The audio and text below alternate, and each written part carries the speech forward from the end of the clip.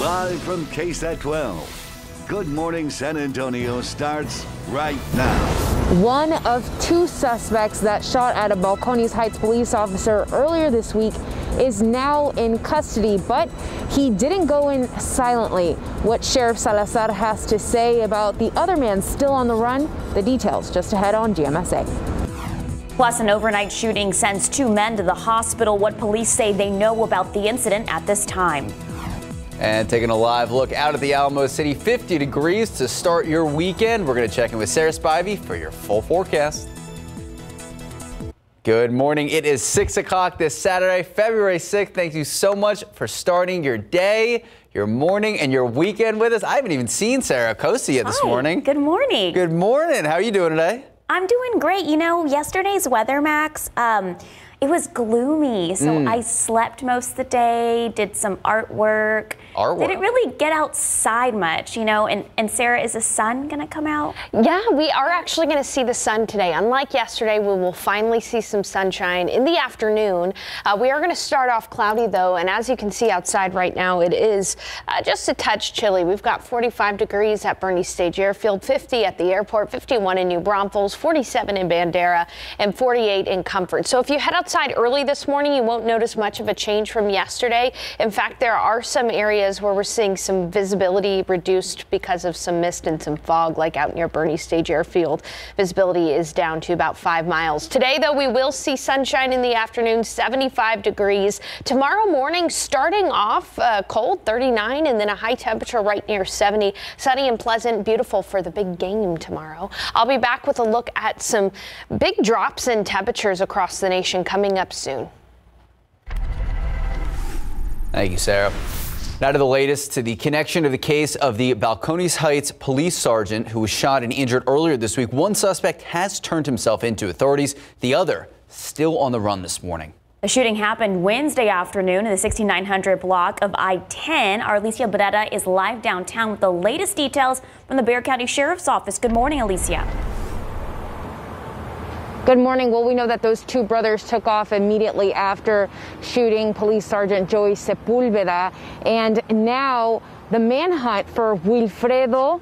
Wilfredo Montemayor is the man still on the run this morning. So that's who Bexar County Sheriff's Office is still looking for. Take a look at that suspect. Wilfredo Montemayor is wanted on attempted capital murder charge after shooting Police Sergeant Sepulveda in the neck and shoulder. The sheriff says Wilfredo may have changed his appearance, so take a close look.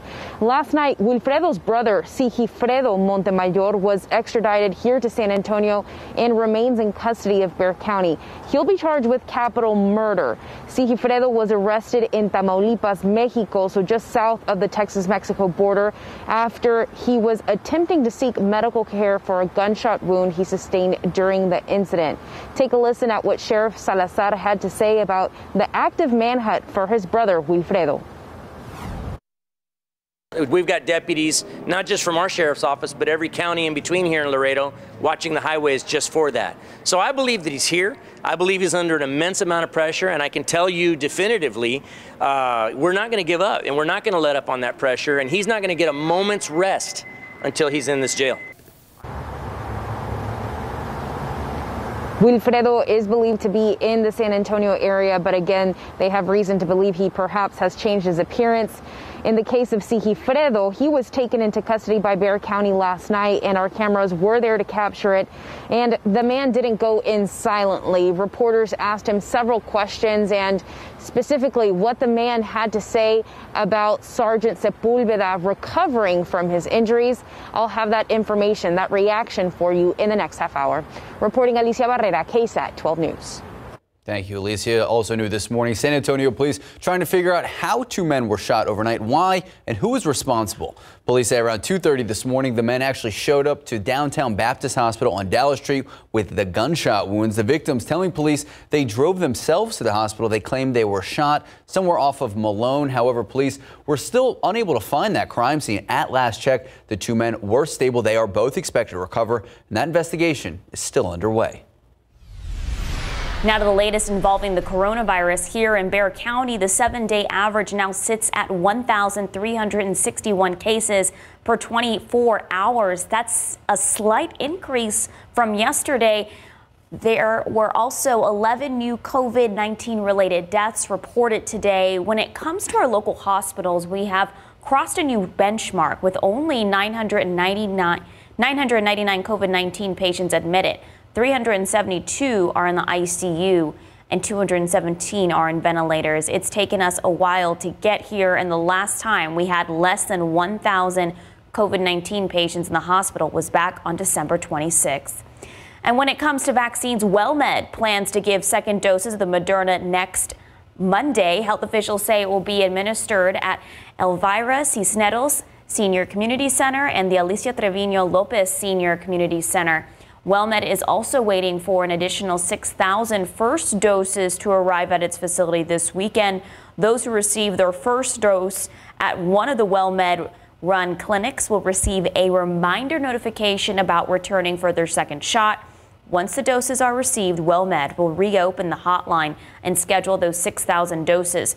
The phone number to call when those vaccines have been received on your screen right there 833 968 1745.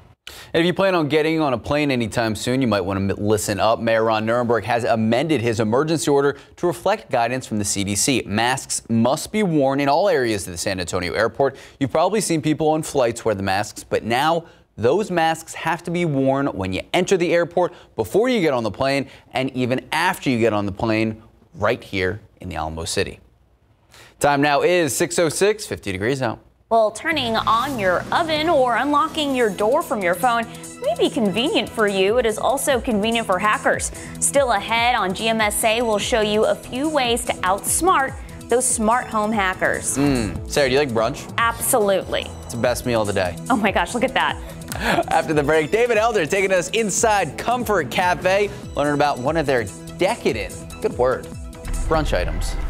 Oh my gosh, was that dessert or brunch? Who cares? Looks good. All right, 50 degrees outside at 6.07 this morning. Sarah Spivey says we might see the sun today.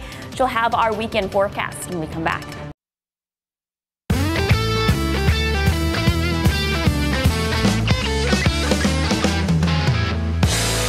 What is this one called and what exactly is inside of so it? So that is a chocolate strawberry stuffed waffle. And it's got a chocolate drizzle with some cream cheese filling. And um, yeah, it's. How do you approach this? Like, what do I, you. just go for Just it. Just go for it, okay. Just you get... need a lot of napkins. Right. Yeah, this is like a 20 napkin meal right here. When you want something that's over the top, Comfort Cafe is your place to go. Whether it's sweet or savory, they got it. I mean, all the waffles they have that are stuffed with cream cheese, they have the different fruit and the candy toppings, the cookie toppings. I mean, it is unlike anything else you're going to find here in the Alamo City. It's probably one of the funnest things that we're going to we've done in a while. Yeah. Here we go. Yeah.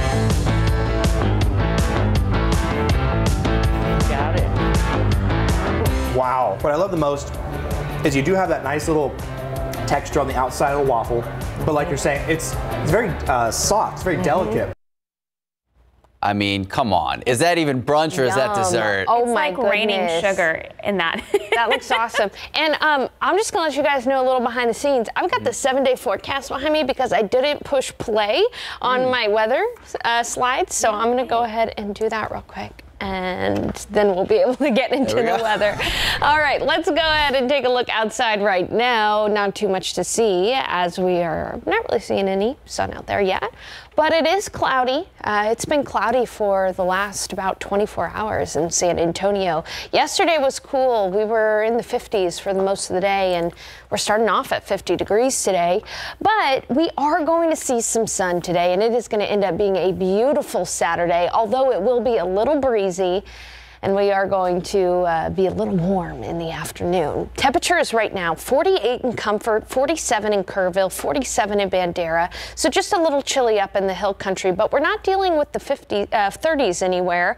Uh, 49 in Canyon Lake, 49 in Bulverde, 49 at Stinson, and 51 in Pleasanton. A wider view here, cooler in Del Rio than here in San Antonio, 47 degrees in Del Rio, and 43 your wake up temperature in Rock Springs. Look at Laredo, still at nearly 60 degrees down in Laredo. We are seeing some areas of fog, and as I was coming into work this morning, I did notice some mist out there briefly here in San Antonio. So don't be surprised if in San Antonio you run into some areas of patchy mist, but the fog is well to our west, out toward Uvalde, Carrizo Springs. Visibility there less than about a mile and a half. Visibility uh, down to two and a half miles out near Rock Springs. But today we are going to see the sun, as I mentioned, and you can really see that in the futurecast. This is a very weak cold front. It's not going to cool us down. In fact, because we're going to be seeing the sun in the afternoon, it's actually going to be warmer today than it was yesterday. But that cool front is going to clear skies for us, as you can see in the futurecast. Right at about lunch, we'll see skies clear here, here in San Antonio. And then for the rest of the afternoon, the rest of the warming period during the day, uh, we'll be able to warm up really nicely. Here's a look at high temperatures today 77 in Del Rio, 75 in Eagle Pass, nearly 80 degrees in Laredo, 75 in New Braunfels, 71 in Kerrville, 77 in Pleasanton, and 75 here in San Antonio. That cool front is also going to make things pretty windy. Look at the futurecast wind gusts, potential wind gusts of up to 25 miles per hour as winds turn around to the northwest. It's going to be breezy. Thank goodness we're toward the end of mountain cedar season, and so that south northwesterly wind probably isn't going to do too much uh, to our mountain cedar count. So that's some good news there. So today, cloudy and 54 at 10, but then clearing skies around noon. And notice that in four hours from noon to 4, we're going to shoot up by about 15 degrees uh, because of the total sunshine. Winds from the northwest at 10 to 20, gusting up to 25, and it's going to be a chilly evening for us. Okay, showing you the satellite and radar. We've got some snowfall across parts of the central plains, but the really impressive thing across the nation is some very cold air to our north. Look at these temperatures to our north 3 below in Minneapolis, 12 below in Bismarck. But even more impressive, let's look at Canada temperatures 45 below in Yellowknife. In fact, I had to change up our color table here uh, to be able to show just how cold it is across parts of central Canada, north central Canada. And uh, this Arctic air is going to spill across the United States in the week ahead. There is a great deal of uncertainty, though, about how far south this Arctic air is going to move towards San Antonio. One of the forecasting models is saying it's going to be very cold. Another forecasting model is saying that it's actually going to be a little bit on the warmer side. So, We've done a compromise here until we can get a little bit of clarity. What we know is that tomorrow is going to be a beautiful Sunday, beautiful way to end the weekend. We'll have morning clouds on Monday and Tuesday, and it'll be mild. And then toward the end of the week, that's when we're going to have to watch out for some colder air. What I think is going to happen is I think on Wednesday we're going to have some morning drizzle. It'll be mild but cooler than the other days at the beginning of the week. And then a cold front is going to push through on Thursday, and that'll make us nice and chilly. In fact, temperatures will struggle to get out out of the 50s on Thursday. We'll have a chance for isolated rain. And then Friday should be nice and chilly with temperatures starting off in the 30s. So because there is uncertainty in the latter half of the forecast, it's a great time to make sure you have that KSAT weather app downloaded and make sure you stick with us as we uh, iron out the kinks in the forecast. All right, Sarah, thank you so much. 616, 50 degrees out. All right, still ahead, a new documentary is sharing details on the legal woes of Britney Spears. We are talking the new doc framing Britney Spears and the details on how you can watch. And are you prepared for a cyber attack? Me? Probably not. So just ahead, tips to protect yourself from a smart house hacker. Let's take a look at those lotto numbers. Pick 3, 890, Fireball 3, Daily 4, 0528, Fireball 5. And your cash 5, 14, 19, 24, 27, 31. Mega Millions 14, 17, 28, 29, 44. Big number 2. Megaplier 4. Good luck. We'll be right back. Good morning, welcome back, and happy weekend. More than 14 billion, yes, billion with a B, connected devices, also called smart devices, they were used in 2019. And now, By 2021, that number has reached 25 billion. And while turning on your oven or unlocking your car from your phone could be convenient, it's also easy for hackers. This year, an estimated 1 in 15 people will have their identities stolen. Our Erica Hernandez has the details on ways to outsmart these smart home hackers. We have lots of Alexa devices. Indoor camera to like check out the house. Everything that we're creating to make our life easier, and this is when things start to get out of control. To guard your home from a cyber strike, secure your Wi Fi network. Most routers come with easy to guess generic settings. Change to a strong password. Next, diversify your passwords for all your devices and services. The Verizon 2019 data breach report stated that 80% of hacking breaches were related to weak passwords. Also, be sure to register all of your devices with the manufacturer. Most companies release software patches to upgrade security over time. If you decide to sell, give away, or toss out your smart device, most manufacturers advise that you factory reset your device and remove all personal data. A factory reset ensures the next person to get their hands on your device can't automatically access all your information or communicate with the other devices in your network. Erica Hernandez, KSAT 12 News. I'm like a whole generation behind when it comes to this technology Me thing. too. Too much. I can't much. do anything on my phone except for listen to music. Time now, 621, 50 degrees out. All right, just ahead, Adidas is celebrating Patrick Mahomes' return to the Super Bowl with some cash for fans. How much you can get for every minute the Kansas City star quarterback has possession of the ball on Sunday. Well, Adidas is celebrating Patrick Mahomes' return to the Super Bowl with money giveaways throughout the big game. That's right. So the sports apparel company Adidas is giving fans the chance to win $1,515 every minute the Kansas City star quarterback has possession of the ball tomorrow. So the 15s, you know, $1,515, they're nods to Patrick Mahomes' jersey number and his 15 and the Mahomes Foundation, his philanthropy. So fans only need to keep their smartphones handy to tweet hashtag Mahomes Zone Sweepstakes as well as tag Adidas. That triggers an online registration form to be tweeted back to you. The company Adidas plans to match the final sweepstakes total for a donation to Mahomes Foundation. And in case you didn't know, Super Bowl 55 set for Sunday night in Tampa with Mahomes Chiefs facing Tom Brady Tampa Bay Buccaneers. Well, a new documentary is sharing details on the legal woes of Britney Spears. The pop singer is the focus of Framing Britney Spears, a New York Times presented documentary. The film explores the 13 years that Spears' father, Jamie, has served as her conservator. That means he has control over her daily affairs and financial decisions. Spears petitioned to replace her father in August, but the judge kept him as conservator and appointed a new co-conservator. Framing Britney Spears is available on Hulu and the cable network FX. All right, it's 626 and 50 degrees. Still ahead on our next half hour, new guidance from the CDC on reopening schools for in-person learning. Details on what needs to happen first. Plus, a third homeless camp pops up in San Antonio, this time outside a council member's office. Details on what the city plans to do to help the situation. Good morning and happy Saturday, 6:30 this morning, February 6th. So Sarah, I'm not going to let you off the hook for this one. Okay. We started the six o'clock by you saying you stayed inside yesterday and just did artwork all day. Please elaborate. What artwork are you doing? No, I did. I made all of my Valentine's Day cards. Aww. You have to like make them by hand. You have to make them now. That way, when you send them in the mail, people get them by Valentine's Day. I'm so excited to see mine. okay.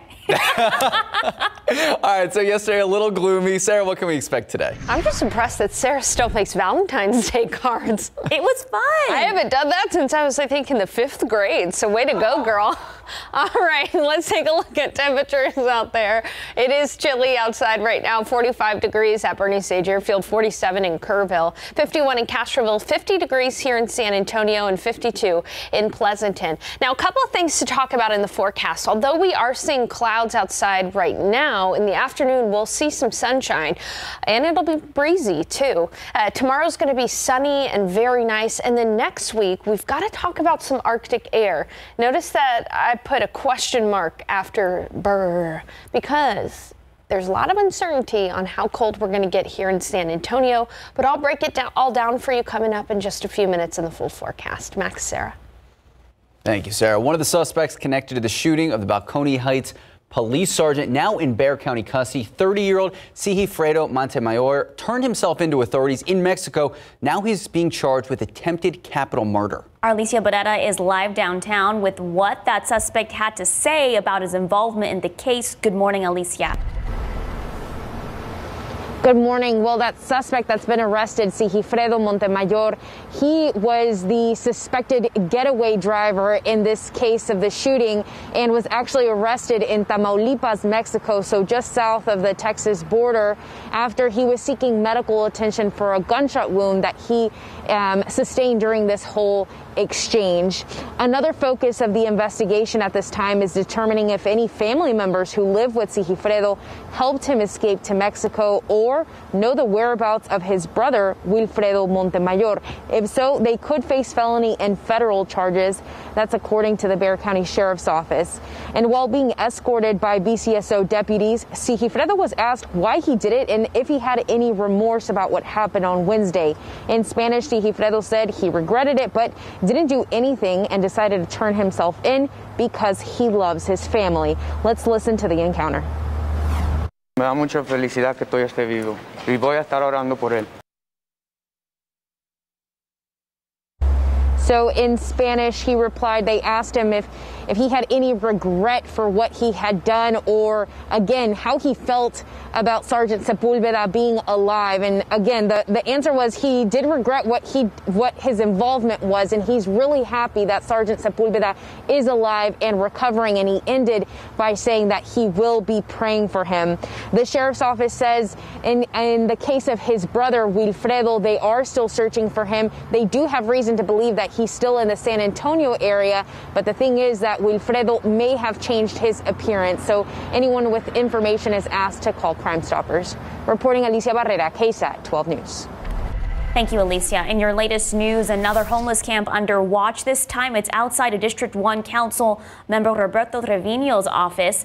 Trevino is not a fan of the city's abatement approach where these camps are emptied, saying it's not known where people will end up once the camps are cleared out. The city manager agreed to let people sleep outside the councilman's office for the next two to three weeks while the city works with its partners and his staff to help connect people with services. Just yesterday, a different homeless camp was cleared on the main street near I 35.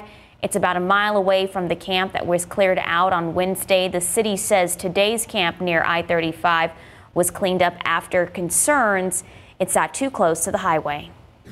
We will leave a camp in place if there's no health or safety concern, if there's no suspected criminal activity. We would not abate it. The city says outreach teams do try to connect people to shelters or detox centers before the camps were cleared out. Only three were actually interested in those services, including a pregnant woman.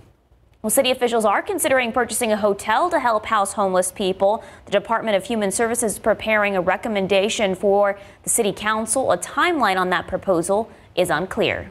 Now to the latest development on the case against former Bexar County Precinct 2 Constable Michelle Barrientos Vela. The legal battle will likely take longer because of this week's ruling. The case had 12 defenders learned a motion to sever the offenses against her was granted, meaning each charge will be tried against her individually instead of a consolidated indictment. Now, the first trial will center on the felony count of, of, aggravated perjury. She also faces two felony counts of tampering with evidence and three misdemeanor counts of official oppression. So remember, Barrientos Vela was forced out of office after she announced her run for the sheriff's office too soon. So in regards to the charges she's facing, they follow a nine-month investigation by the Texas Rangers and the FBI.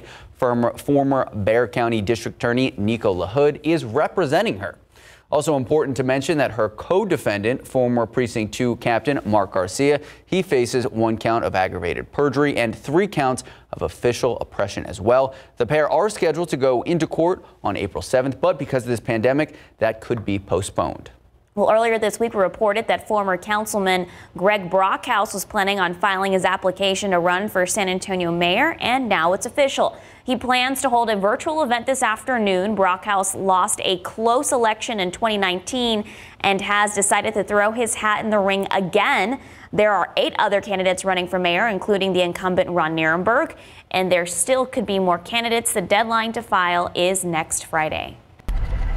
In your morning headlines, 1 million Moderna COVID 19 vaccine doses will be sent to pharmacies across the country next week. The vaccines are directly from the federal government, not from supply provided to states. The Biden administration announced this week that the vaccine rollout will launch on February 11th. Pharmacies will still be required to follow state level eligibility requirements when administering the vaccines. And the CDC will release guidance on reopening schools this coming week. It has been almost a year of at home learning, and for some, Students are ready to get back into the classroom, but how to minimize the spread of COVID 19 is still the biggest concern on everyone's minds. Even with guidance and regulations, CDC officials say community spread has to be down before it's safe for teachers and students to re enter those schools. Time now is 637, 50 degrees out. Well, still ahead, a look at your kitchen. You may think it's clean, but is it really? Ooh. What to look out for and how to keep your family healthy. All right. Well, this is a story we've been talking about throughout the morning. An exclusive interview with Academy Award winning actor and Texas native Matthew McConaughey telling KSAT all about his new book, Green Lights. All right, all right, all right. Just Excited waiting. for that. You were just waiting all morning for that, weren't you? Also excited for the sun to come out later today, like Sarah Spivey has said. But what will our weekend forecast look like? And are we going to see a cold front at the end of this week? She'll let us know when we come back. Good morning, welcome back, and happy weekend. He is an Academy Award winning actor known for his roles in True Detective, Dallas Buyers Club, A Time to Kill, just to name a few. Matthew McConaughey, though, now has a new book, a memoir called Green Lights. Heard a lot about this book. SA Live's Jen Tobias Strusky caught up with the Uvalde native this week to chat about the book and his time growing up in South Texas. Take a look. Okay, if you don't know yet, let me give a proper introduction. Academy Award winning actor, father, husband, and author. And my favorite part, he's from Texas. Welcome, Mr. Matthew McConaughey. Hello, sir. How you doing, Jen? Hey, thanks for having me. Uh, I like the introduction. yes, I am from Texas. Born in Uvalde, raised in Long Beach, in Austin. Yes, indeed. This time last year, you and your family were actually surprised everybody down in Uvalde, didn't you, with the Chamber of Commerce event? Yeah, yeah, yeah, yeah. That's right. We, we took mom down there, got the two, both my brothers together. Um, went down there. We were, we like to look for a reason to get down to South Texas. In his book Green Lights, Matthew shares stories growing up in Uvalde with his parents and two older brothers. Every so often, he still finds inspiration on those Texas roads. When I'll go on road trips to go write or prepare for a character, I always try to plan them where I can sneak through those towns and stay a day or two and have a little look and swing through as a stranger. But I also like to, if I can go in like this, and I like looking back and going, oh yeah, it remind. I mean, it reminds me. I go back to I go back to Uvalde. I'm like, yeah, we grew up in like a, in a rancher's town. We were out here. This is where that's right. This is where I learned 4-H. Oh yeah, this is beautiful down here. You got the the, the, the rivers, the spring-fed rivers, which we went and swim in.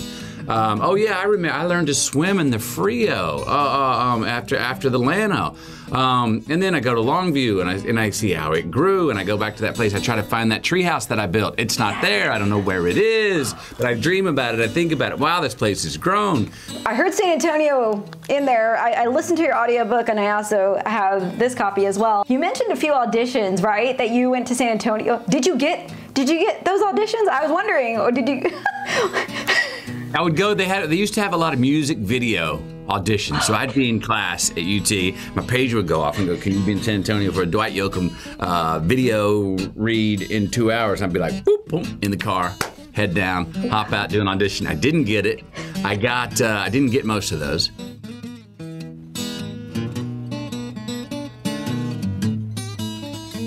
So I've heard a lot about his book.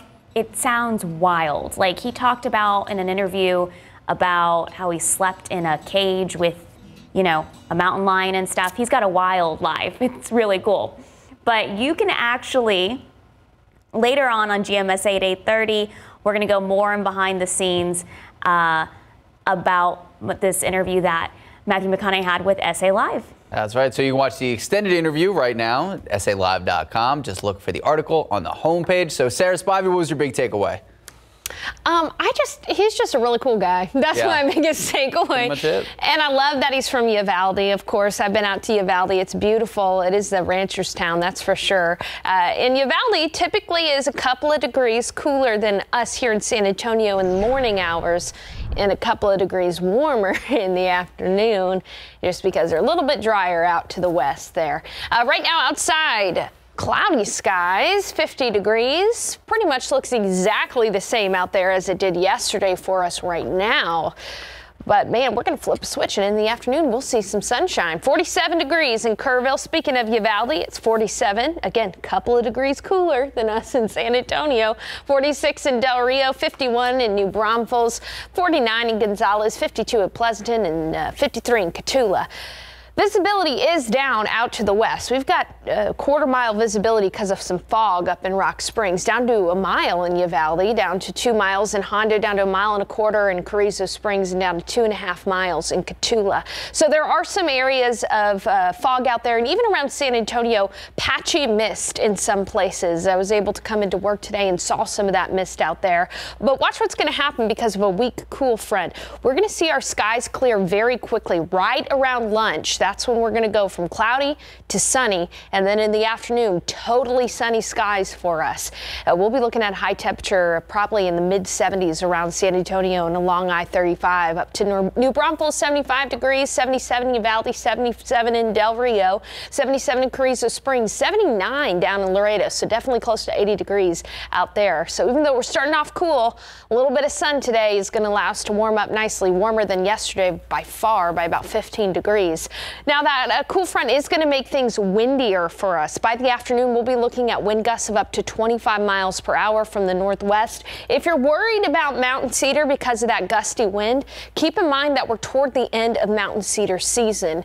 So we're probably not going to have a huge increase in mountain cedar, but we'll keep an eye on that pollen count for you just in case. So today, becoming sunny and breezy, still cloudy at 10, but as soon as we see the sun, we're going to see those temperatures shoot up to 75 degrees and then a chilly evening as those winds uh, start to die down. So if you're watching the big game tomorrow, here's Sunday's uh, football forecast. We'll start off cold in the morning, 39 degrees, but sunny and comfortable in the afternoon, 70. East winds at 5 to 10 miles per hour.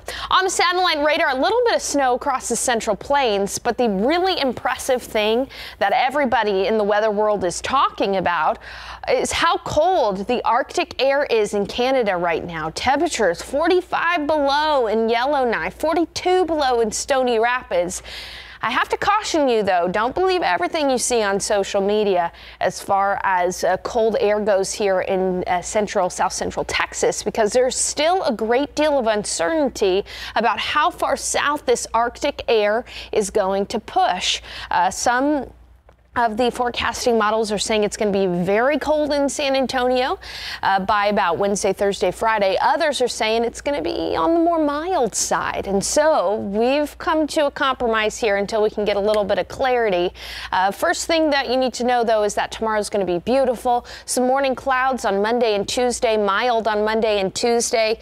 And then as we head into Wednesday, Thursday, and Friday, that's when our forecast is going to switch and become a little bit cooler.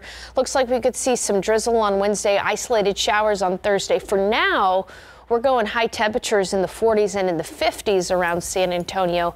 But again, that could that could change. It could be a lot colder depending on the clarity we get in the forecast toward the end of the week. So stick with us. All right, thank you so much, Sarah. Time now is 648, 51 degrees out. Well, coming up next, the germiest place in your home may not be where you think. How you can keep your family healthy.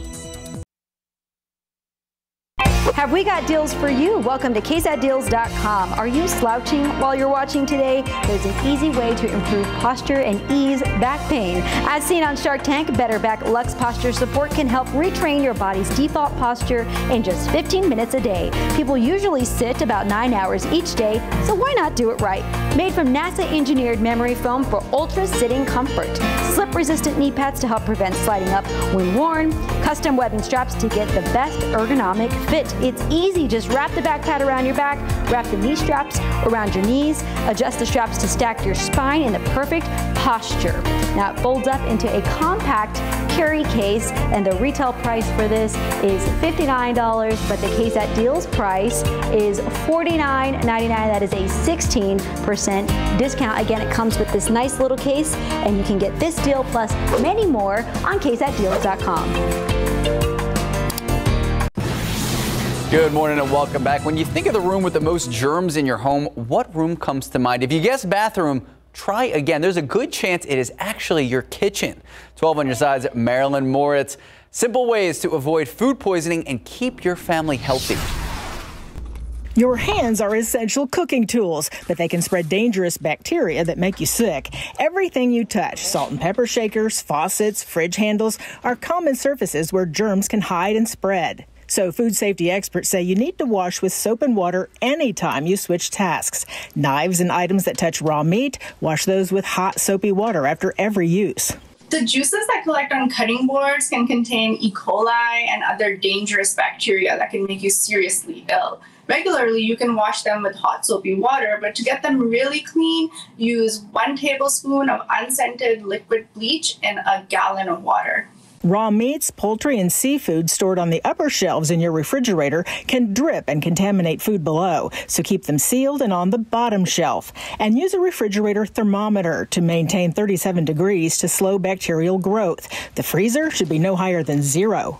And about that phone or tablet you have in the kitchen, it can easily pick up contaminants while you cook, so wash your hands often when you're checking that recipe. And a food safety note meat and eggs aren't the only things you should cook before eating. Raw flour can carry salmonella and E. coli, so resist the urge to sneak the raw cookie dough. Marilyn Moritz, KSAT 12 News. 654 and 51 degrees. Here's what's coming up on Good Morning America. Good morning. Coming up here on GMA Winter Blast, a new snowstorm targeting the Northeast this weekend, and the life threatening Arctic cold air moving into the Midwest. Rob is tracking the dangerous winter weather across the country. Plus, a Kansas City coach in a multi vehicle car crash that has reportedly left one child with major injuries. The son of the Chiefs head coach involved in the accident just days before the big game. And finally, President Biden pushing to pass his COVID 19 relief package, making it clear he won't budge on the payment amount. With millions struggling financially, how soon will Americans see those checks? It's all ahead here on GMA. Days after the shooting that left a Balcones Heights police sergeant injured, one suspect is in custody, but his brother is still on the run this morning. The manhunt continues for this suspect, Wilfredo Montemayor. BCSO says this man shot police sergeant Sepulveda in the neck and shoulder. The sheriff's office says Wilfredo is more than likely in the San Antonio area, but may have changed his appearance. His brother was extradited from Tamaulipas, Mexico to San Antonio last night. Sheriff Salazar said Sigifredo Montemayor, a 30 year old man, is the one who drove the getaway car last Wednesday. Sigifredo was arrested in Tamaulipas, Mexico after he was attempting to seek medical care for a gunshot wound he sustained during the incident. And when asked what he felt knowing that Sergeant Sepulveda is recovering, Sigifredo said that he's thankful that's the case and will be praying for him. Reporting Alicia Barrera, KSAT 12 News. Thank you, Alicia. Well, through this pandemic, families, businesses, and communities are dealing with the economic fallout. So, how is San Antonio doing, and what is the plan going forward when it comes to our local economy? Tomorrow on GMSA, uh, on GMSA at 8 a.m., Richard Perez, the president and CEO of the San Antonio Chamber of Commerce, is going to be joining us on Leading SA at 8 a.m. with some answers. If you have any questions you would like asked, you can submit them right now. Just head to the Leading SA section of KSAT.com. In San Antonio this morning, we could see some patchy mist. Visibility is reduced by a couple of miles, but fog is more of an issue out to the west. In Hondo, Uvalde, Carrizo Springs, Rock Springs, visibility is reduced significantly because of some fog out there. Now today it will become sunny and breezy, 75 for the high in the afternoon. Northwest winds gusting up to 25 miles per hour. A beautiful day tomorrow for the big game and we'll see some clouds Monday and Tuesday morning colder though by the end of the week. And we'll keep you updated on that temperature forecast. Thank you, Sarah. Thank you, Sarah. Thank you so much for watching. We're going to take an hour long break for Good Morning America. We'll see you back here 8 a.m. See you at 8. Live from KSAT 12. Good Morning San Antonio starts right now. The mayor announcing a new mandate for everyone traveling through the San Antonio International Airport. We have what you need to know. A scary morning for a woman taken out of her car with the jaws of life after crashing on the city's north side. More on what police say happened. And taking a live look at the Alamo City. Not much to look at right now, but what does the rest of the day, what does the weekend look like? We're going to check in with Sarah Spivey in just a few moments. Good morning. It is 8 o'clock this Saturday, February 6th. Thank you so much for starting your day with us. Sarah Costa, yesterday was both of our weekends, I guess, Yeah. technically. What'd you do? I, I stayed basically inside. I made my Valentine's Day cards, Max, a week early.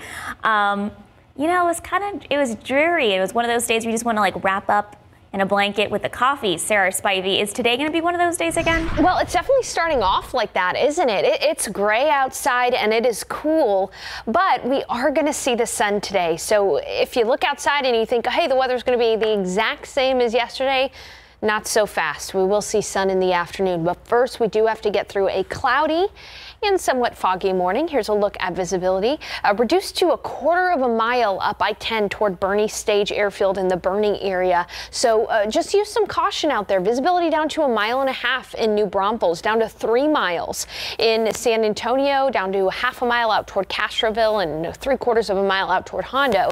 In addition to the fog, we're also seeing areas of patchy mist out there. So again, it is kind of a gray and dreary morning. Temperatures are on the cooler side. It's 49 in Kerrville, 46 in Rock Springs, 47 in Del Rio, 48 in Uvalde, 50 in Hondo, and 52 in Pleasanton, 50 here in San Antonio. Uh, and you know what? We are going to see that sun. In fact, a cool front, a weak cool front, is going to move through and clear skies. In the afternoon, it will be totally sunny. A high temperature near 75 degrees, so a little bit on the warmer side as well. And then tomorrow for the big game, starting off early in the morning at 39 degrees high temperature near 70. So we'll salvage a beautiful weekend after this gray start today. But a look ahead shows some very cold Arctic air on the way for the United States. The question is, how far south will that air push and will we get to see some of that cold air in San Antonio? I'll have your forecast in just a few minutes. Max? Thank you, Sarah. New this morning, scary moments for a woman this morning after a crash on the city's north side, and it all ended with the jaws of life. So take a look. This happened around 5:30 this morning. This is Highway 281 near Wurzbach Parkway. Police tell us the 40-year-old woman was driving northbound on 281. She saw an object in the middle of the road. She tried to avoid it. That is when the vehicle spun out of control, slammed into the wall. She actually was trapped inside her car. Emergency responders, when they got there, they had used the jaws of life to rescue her. Luckily, taken out of the vehicle, taken to University Hospital with only minor injuries. Officers on the scene tell us alcohol was not a factor. Right now, they're ruling the crash an accident. Now to the latest. Over the last few years, well, it looks like we've seen more and more people living on the streets in and around the Alamo City. And District 1 Councilman Roberto Trevino, he is working to stop the criminalization of homelessness here in San Antonio. Currently, he's worked with city leaders to allow for an encampment outside of his field office. Our Alicia Barrera is live there with the latest. Good morning, Alicia. Good morning. Well, during the week, the city has been clearing out encampments housed by those experiencing homelessness. And this is what it looks like here at Councilman Trevino's office. And he's put his foot down saying, Clearing out these encampments is not the way to go. Those living in tents and sleeping bags have taken refuge behind the councilman's field's office off of I 10 and Vance Jackson. And honestly, this morning we've just seen a handful of people. The city had planned to displace this community here, but they didn't show up yesterday and haven't showed up today. And according to the city, they now have permission to stay at the property for up to three more weeks. And although the city is working with Councilman Trevino to better serve those experiencing homelessness, City Manager Erik Walsh says criminal behavior won't be tolerated. And Councilman Trevino, of course, he wants this community here. It seems to be calm right now. They are looking at better solutions to to serve this community, including the idea of a hotel. We'll be looking more into that in the next hour at 9 a.m. Reporting live, Alicia Barrera, KSAT 12 News. Thank you, Alicia. To the latest coronavirus cases here at home, Mayor Ron Nirenberg announcing in his daily briefing 1,724 new cases. Seven day moving average now sits at 1,361 cases. That's a slight increase from Thursday. 11 more people have died from this virus. There are 999 people in our local hospitals, 372 are in the ICU and 217 are on ventilators. The last time we had less than 1,000 patients in the hospital was back on December 26th. When his daily briefing, Mayor Ron Nirenberg amended an emergency order to align with the CDC's guidance. This new mandate requires masks to be worn in all areas of the San Antonio International Airport. This includes when you enter the airport, before you get on the plane, and even after you get off your flight right here in the Alamo City. WellMed is planning to give second doses of the Moderna vaccine next Monday. They will be administered at the Elvira Cisneros Senior Community Center and the Alicia Trevino Lopez Senior Community Center. WellMed is waiting for an additional 6,000 first doses to arrive this weekend. When getting the new doses, WellMed will reopen the hotline for those to schedule their appointments. The number to call on your screen right now 833 968 1745. Walk ins will not be accepted. And it may not be exciting or something to many people to rush to read about, but it's incredibly important. In this week's episode of KSAT Explains, it's all about redistricting. It really is so important. It's something everyone in Texas should learn about. So later this year, the Texas legislature will take up the task of redrawing the lines of our state's congressional and legislative maps. KSAT Explains producer Lexi Salazar. She steps into the breakdown booth explaining a little bit about what we can expect. So this week's episode of KSAT Explains is all about redistricting. We know it's not the sexiest of topics and maybe you even think it's boring. You certainly would not be alone in that thought. But before you decide to skip out on this episode, hear me out. Later this year, the Texas legislature will be tasked with redrawing our congressional and legislative maps. They'll be able to do this after they finally get the results from the 2020 census. These maps determine how we're represented on the state level and at the national level. And if you've ever looked at the shapes that make up the map, you probably think that those shapes look pretty random. They look like nonsensical puzzle pieces. But here's the thing.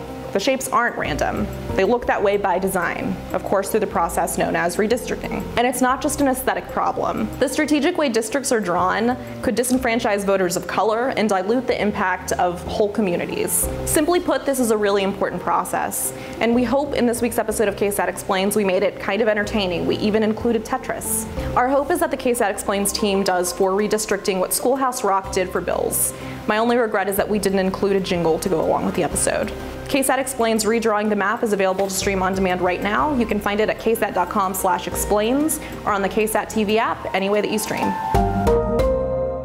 And big shouts to Lexi and RJ and all the whole KSAT Explains crew. Was talking to them earlier this week. It is going to be such an interesting episode. Time now is 8.08, 50 degrees out. Well, what we can eat helps us or can cause health problems. Still ahead, why colorful foods keep our immune system running at peak efficiency. Plus, next on GMSA, David Elder taking us inside a Mexican style hot dog food truck to try a hot dog loaded with carne asada. Breakfast Mm. champions right there. Yeah. Yum, yum, yum. All right, there's some of that fog that Sarah Spivey was talking about. When will it clear up? And will we actually see the sun today? She says, yes, she believes she, we, we will. When we come back, she'll have our full weekend forecast in just a bit.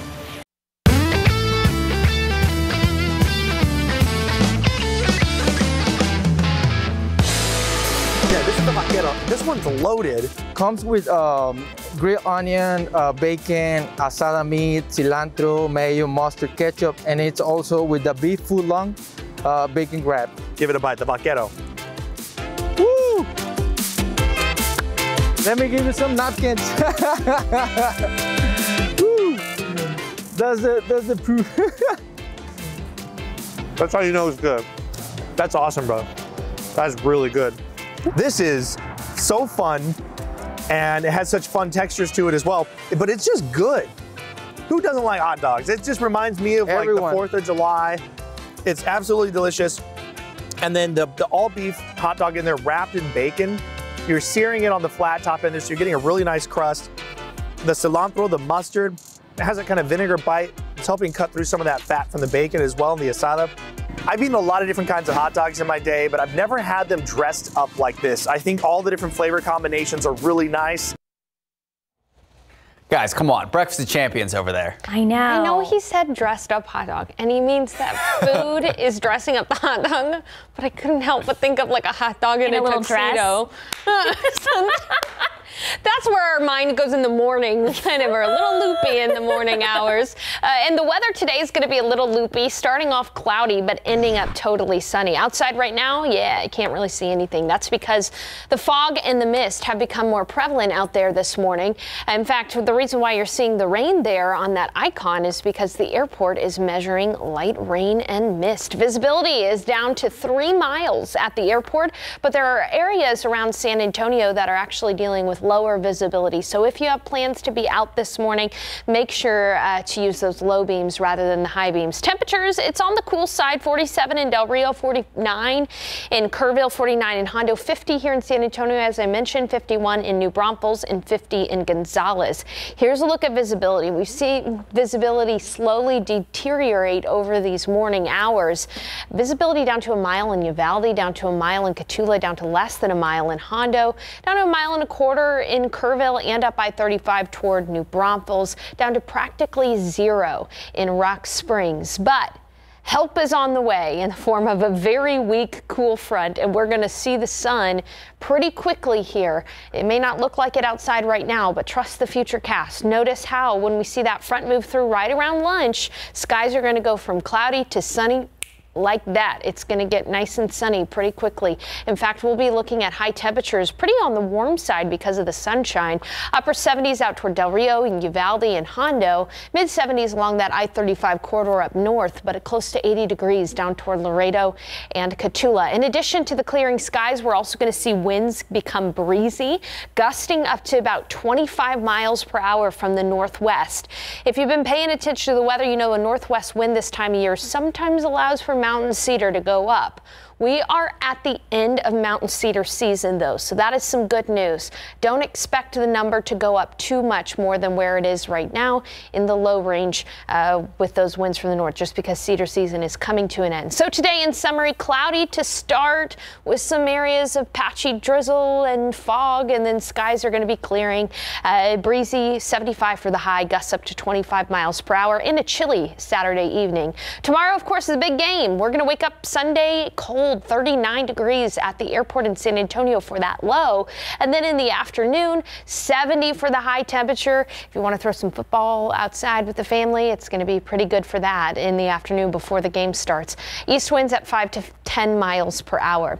Taking a look at satellite radar, we've got some snow across the central plains, but the big thing that everybody is talking about is this cold Arctic air which is sitting to our north. Look at that 13 below in Bismarck, 3 below in Minneapolis, but look across Canada. 45 below in Yellowknife, 45 below in Stony Rapids. Very cold up in Canada. The question is, how far south is this Arctic air going to push? Northern tier of the United States is going to be on ice, but how far south will it push? We still have to wait and see. There are indications that we will have a cooler second half of the week with temperatures struggling to get out of the 40s and 50s, but there's still a big question mark on how cold it will get. So we'll keep you informed about that. There will be some drizzle and some isolated rain on Wednesday and Thursday. However, the first part of the week is going to be pretty mild. Morning clouds on Monday and Tuesday and highs in the 70s. Keep up to date with us as we get a more clearer picture and iron out the kinks of that temperature forecast for the end of next week. Do heaters even work in negative 45 degree weather? like, how do you keep warm in that? They do, they do, but that's some dangerous cold up there oh for sure. Bless their hearts in Canada. now, All right, eh? it's 17, 50 degrees. And are you thinking about what you're going to eat during the big game, but you don't want to cook? Still ahead, we have some big game takeout deals. And then we all know what we want to eat and what keeps us healthy. Next, why colorful foods keep our immune system running at peak efficiency. We all want want a healthy immune system to help fight off infection, especially during a pandemic, and our diet plays an important role. That's right, it does. Erica Fernandez tells us how regularly eating colorful fruits and vegetables, especially during the big game, it's a good place to start. Food is something that we likely all love and we all absolutely need. But there are certain foods that we should be eating more of to maintain a healthy immune system. Some of the obvious things that we always want to look at is antioxidants, phytonutrients. We're going to get those from plant based whole foods and foods that have a lot of color. So, the foods that have a lot of color, that indicates they have a lot of vitamins and minerals. Kirkpatrick says you should pay special attention to vitamin C, which may help prevent and shorten infections. Vitamin D also supports immune health, but the body doesn't absorb it well from food, so you'll want to consider a supplemental form like D3. She adds gut health is important as well, so be sure you're getting enough probiotics and fiber. It's also important to talk about things that make the immune system less likely to perform well. So that is highly processed food, fast foods, added sugars. Um, those all negatively impact gut health. They all negatively impact the immune system as well. Kirkpatrick also recommends switching to a whole foods diet, which is primarily plant based to keep your immune system strong. Regular exercise and good sleep habits will also help immune health. Erica Fernandez, KSAT 12 News. So I love that Erica does all these stories, but I gotta say, tomorrow during the big game, probably not gonna have too many fruits and vegetables. No diet. No, it, it's a holiday. Yeah. Super Bowl Sunday. There you don't go. diets don't count. All right, 822, 51 degrees out. Well, if you're getting ready for this Sunday but go. don't know what big game snacks you can make, we've got you covered. Next, we'll tell you some about some some of these big game takeout deals. Good morning, welcome back, and happy weekend. Regardless of how you plan to watch the big game, a good snack is always the best companion. But if you don't like cooking, like myself most days, we have some big game takeout deals that you should take advantage of thanks to some local San Antonio restaurants. It's definitely going to be a day to splurge from pizza to barbecue to Tex Mex to seafood.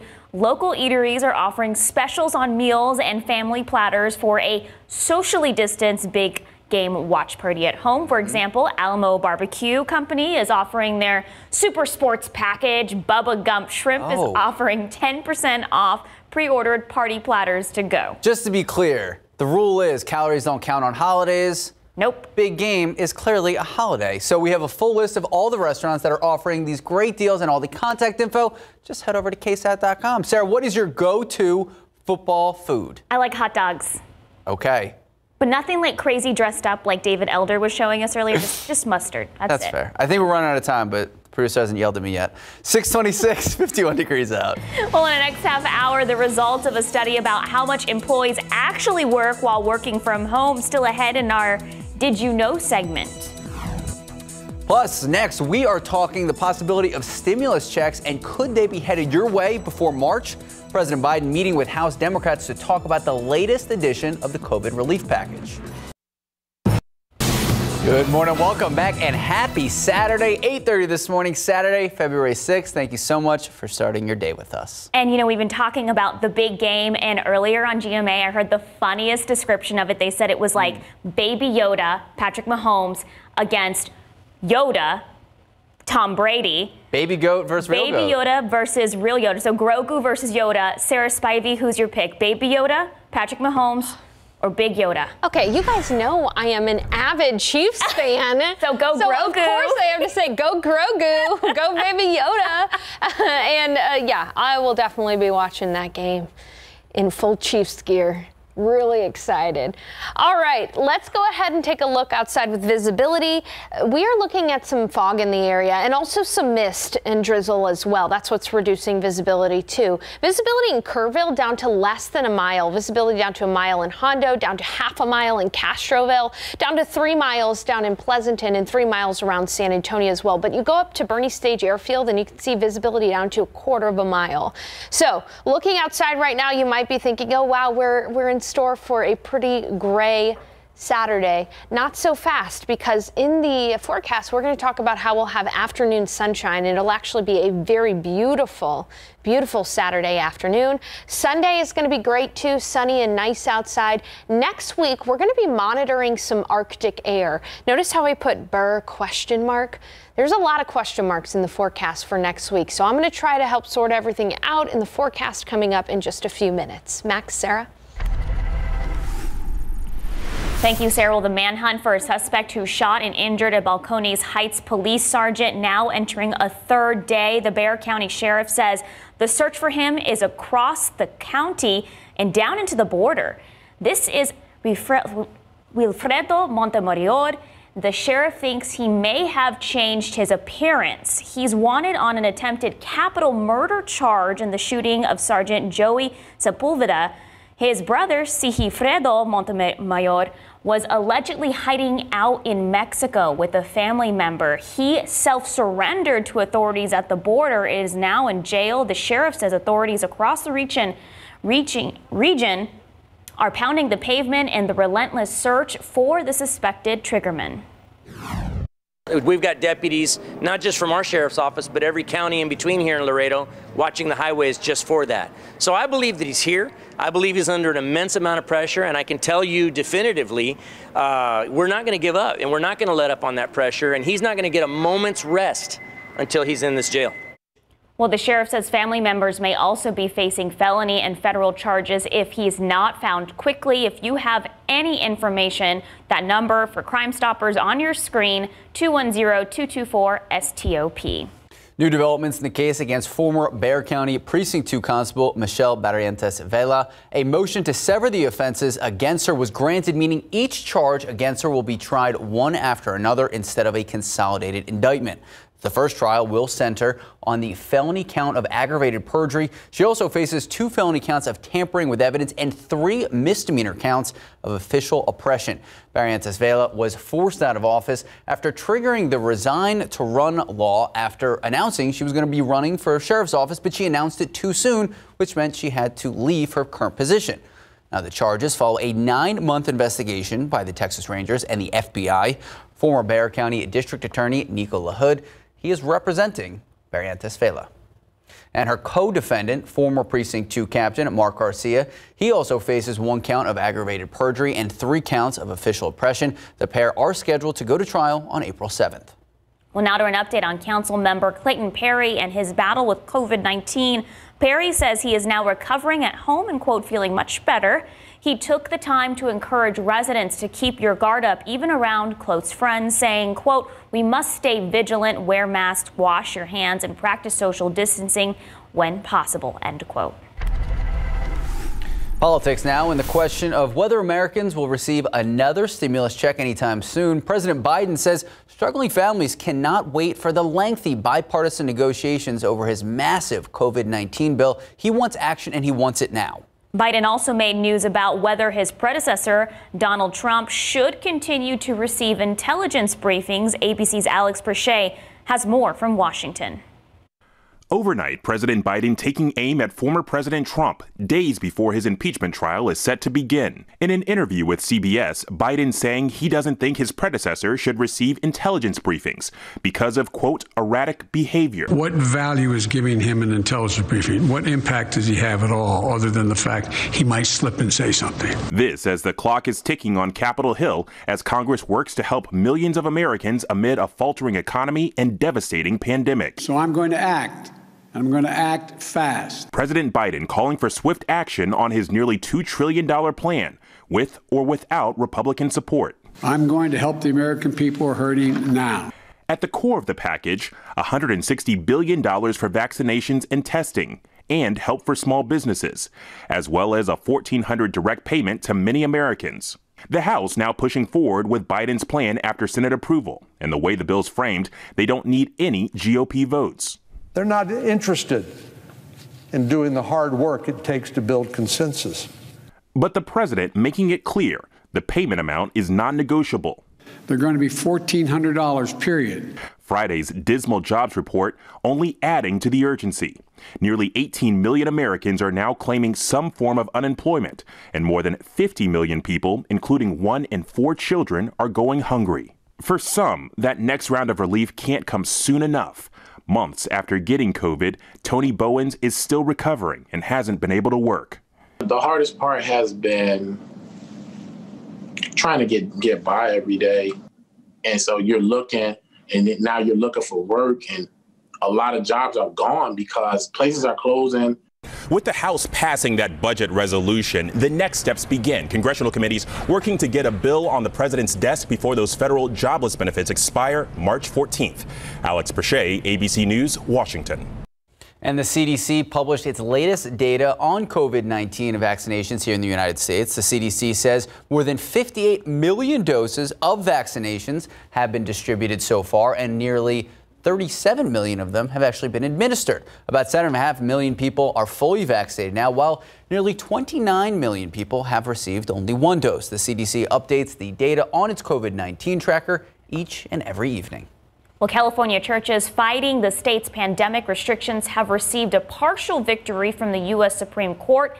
In a divided ruling, the High Court blocked California's COVID related ban on indoor worship in hardest hit counties. However, justices allowed some restrictions to remain in place. Those include capacity limitations by percentage and a ban on singing and chanting during services.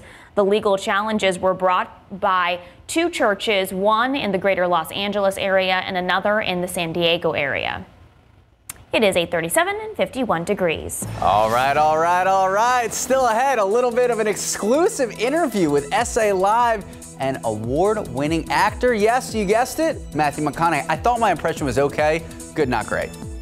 I think you did pretty well, Max. Well, are you still burnt out from 2020? you are not alone. Next in our Did You Know segment, a study about Americans planning to take back their vacations this year. And taking a live look out at the Alamo City. Not much to look at right now, only 51 degrees, but what does the rest of the day, what does the weekend look like? We're going to check in with Sarah Spivey in just a few moments. Good morning and welcome back. In today's Did You Know segment, a new research study shows that people working from home are putting in more hours than before the pandemic.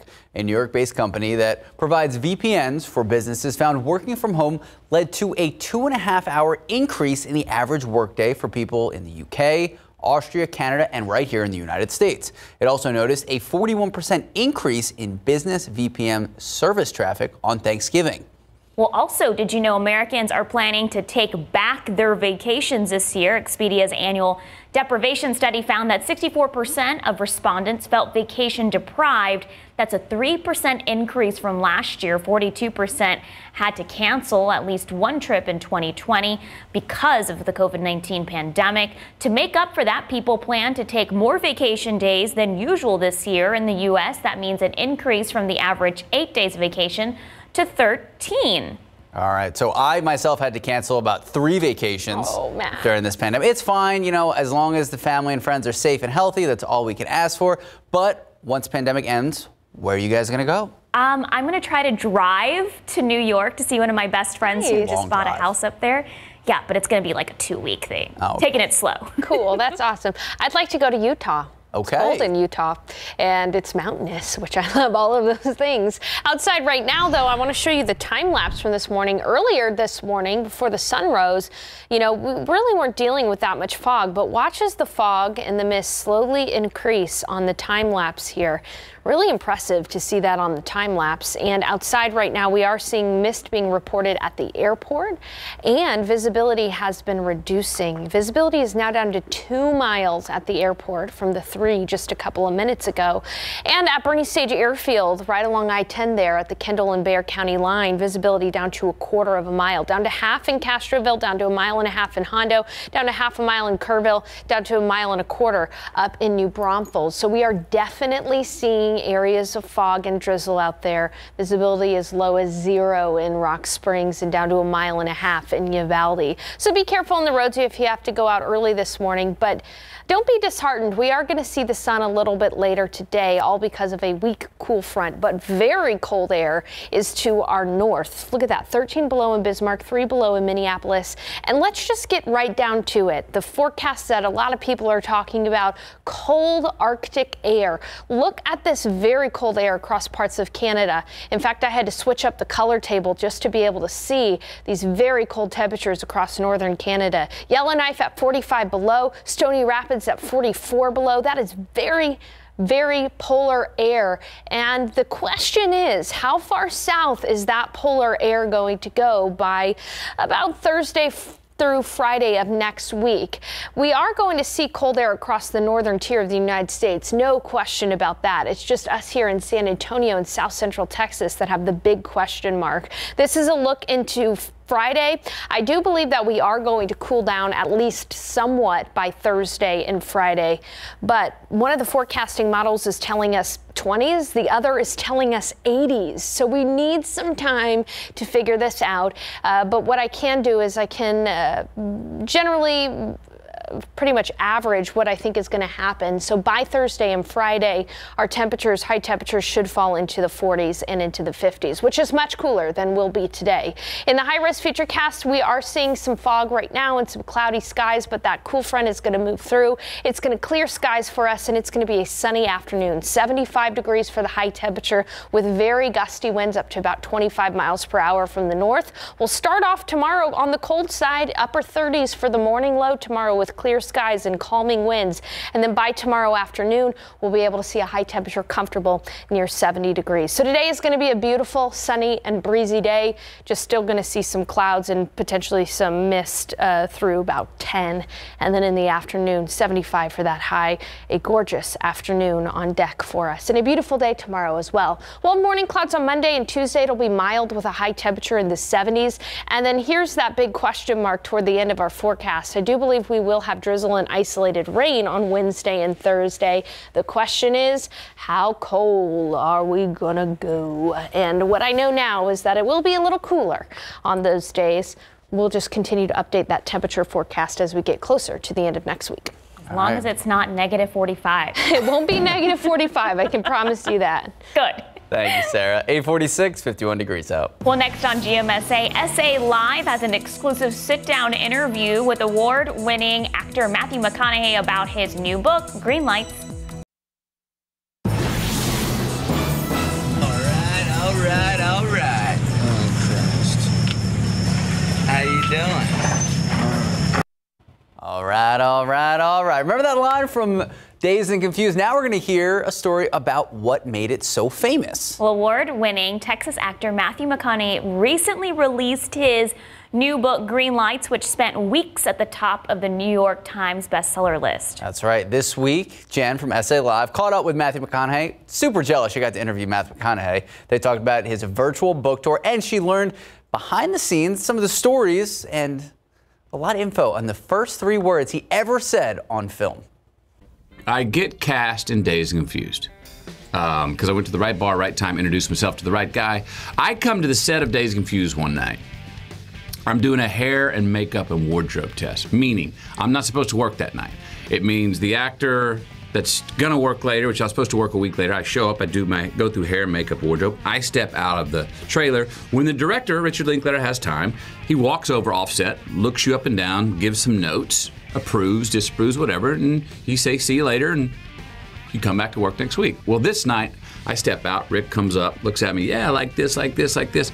All right, cool. Later, and he goes, hey, hang on a second. He goes, you know, uh, you think Wooderson, the character I was playing, He's like, you think Wooderson would be interested in the redheaded intellectual girl? And I was like, oh yeah, man, Wooderson likes all kinds of chicks, right? So he's like, well, you know, Marissa Ribisi's over here. She's playing Cynthia, the redheaded intellectual. She's sitting at the top-notch drive-through with her kind of nerdy friends. Maybe Wooderson pulls up and tries to pick her up. And I'm like, sure, man. Well, next thing I know, I'm in the car getting mic'd up, about to shoot my first scene where there's not a line written. Okay, but I'm there. She is. There's the redhead intellectual. I'm gonna pull up and go pick her up. There's no lines, but let's just do what I do. And I'm starting to get a little nervous. So I'm going over in my head, who is my man? Who's Wooderson, right? What am I about? And I said, Wooderson is about his car. And I'm like, well, I'm in my 1970 Chevelle. There's one. I said, Wooderson's about rock and roll. I said, Well, I got Ted Nugent Stranglehold in the eight track. There's two. I said, Wooderson's about getting high. I said, Well, I got Slater, who's always got a doobie rolled up riding shotgun. There's three. And that's when I hear action. And I look up at Cynthia, the redheaded intellectual, who I'm going to pull up, and try to pick up. And I, in my head, I say, And the fourth thing I'm about is picking up chicks. And I said, I got three out of four. Put it in drive. All right, all right, all right. All right, all right, all right. Oh, Christ. How you doing? Going to get the fourth. That was it. So that was where that came from. It was three like affirmations of what my character had on the way to go get the fourth. First three words I ever said on film. That's amazing. And like you said in the book, people have this tattooed, they have it on shirts, they I mean, and that has to feel how do you feel about that? Well, you know, some people go, Do you get tired of it? I'm like, Hell no, I don't get tired of it. For that reason. This is the first three words I said in film in 1992 on a on, on improvised on the first day on a job that hell I didn't know if that was going to be like a one-off. Like I would be a, a lawyer right now going, oh, I remember back in '92 that was really fun. I got that little acting gig in that film called Dazed and Confused, my one and only time I ever got to do it. Well, it turned out to be much more than a hobby. Yeah. It turned out to be a career for me. So here I'm doing it 28, 29 years later. So it's pretty cool when people say it because I'm like, whether they know it or not, I'm saying you're calling back to the very first three words I ever said on the very first day of what turned out to be a career for me. Well, that was SA Live's Jen Tobias Strusky reporting. We'll see another excerpt from this interview tomorrow on GMSA. That is so amazing. You can watch the whole interview right now, salive.com. Just look for the article on the homepage. Uh, all right, 8, 853. all right, all right, all right. degrees. And we are talking Spurs big game preview right after the break. Good morning, welcome back, and go Spurs, go. The Spurs in Houston, they're going to be taking on the Rockets tonight without three key players. Let's break it down. LaMarcus Aldridge, he is already out with soreness in the right hip. Lonnie Walker now announced to be out with a stomach illness, and Dejounte Murray, soreness in his left ankle. First time the Spurs taking on the Rockets since splitting a pair of games in San Antonio. The Spurs coming off that big win against Minnesota. Fourth quarter comeback and a one game road trip before hosting the Golden State Warriors on Monday and Tuesday. Then they're going to be embarking on their annual 15 day, seven stop rodeo road trip. So here we go. Breakdown for tonight. Spurs 12 and 10 taking on the Rockets at 500, 10 and 10, 7 o'clock. There we go. Toyota Center. I was struck when I first walked in of how large it's grown. Yes, well, it's been a blessing, right? And here in San Antonio, we, you know, we're you know, 14, 15,000 students, which is amazing. So this is one of my favorite stories. It started as a dream 20 years ago, and now it has flourished. Sunday night, tomorrow night on Instant Replay, KSAT 12 Sports. They begin their exclusive sit down with the Admiral, David Robinson, talking about the IDEA Carver Academy, what it has grown into, and what is next for the school now that his son, David Jr., is working alongside with him. Don't miss it. Instant replay tomorrow night. This and all the big game coverage. Instant replay, 11 p.m. tomorrow. Very excited. 857, 52 degrees out. Well, still ahead, how organizers with the San Antonio Stock Show and Rodeo are preparing for big crowds, what you can expect if you're planning on attending. During the week, the city of San Antonio has cleared out encampments housed by those struggling with homelessness. But Councilman for District 1, Roberto Trevino, says it's simply not the way to go. After the break, how the city is weighing in to propose better solutions. Good morning, welcome back, and happy weekend at 9 o'clock this morning, Saturday, February 6th. Thank you so much for joining us. So, yesterday we had some gloomy weather. I know for us it was technically like our Sunday. What'd you do? How'd you spend the day? Stayed in all day. What'd you work on? My Valentine's Day cards. Love it. So creative. You know, there's nothing like a good homemade paper cut Valentine's Day card. I know, Sarah Spivey, you were saying you haven't made one since fifth grade, but I know. I was kind of. Uh, it makes you it feel was nostalgic while making Yes, them. absolutely. And that was kind of a joke. You know, I was kind of poking fun. No, I was not calling Sarah a fifth grader. In fact, I think it's very sweet and very awesome, and I expect my Valentine's Day card to be wonderful. All right, it is still kind of gloomy outside though this morning. In fact, we are seeing fog and mist being reported at the airport. Visibility down to two miles at the airport, down to a mile at Boerne Stage Airfield, down to a mile and a quarter out west toward Castroville, down to a mile in Pleasanton, down to a mile in New Braunfels, down to three quarters of a mile in Kerrville. So yes, there uh, is fog, low clouds, and some mist. In fact, ceilings or where the clouds start are only at 400 feet out there. So very low clouds.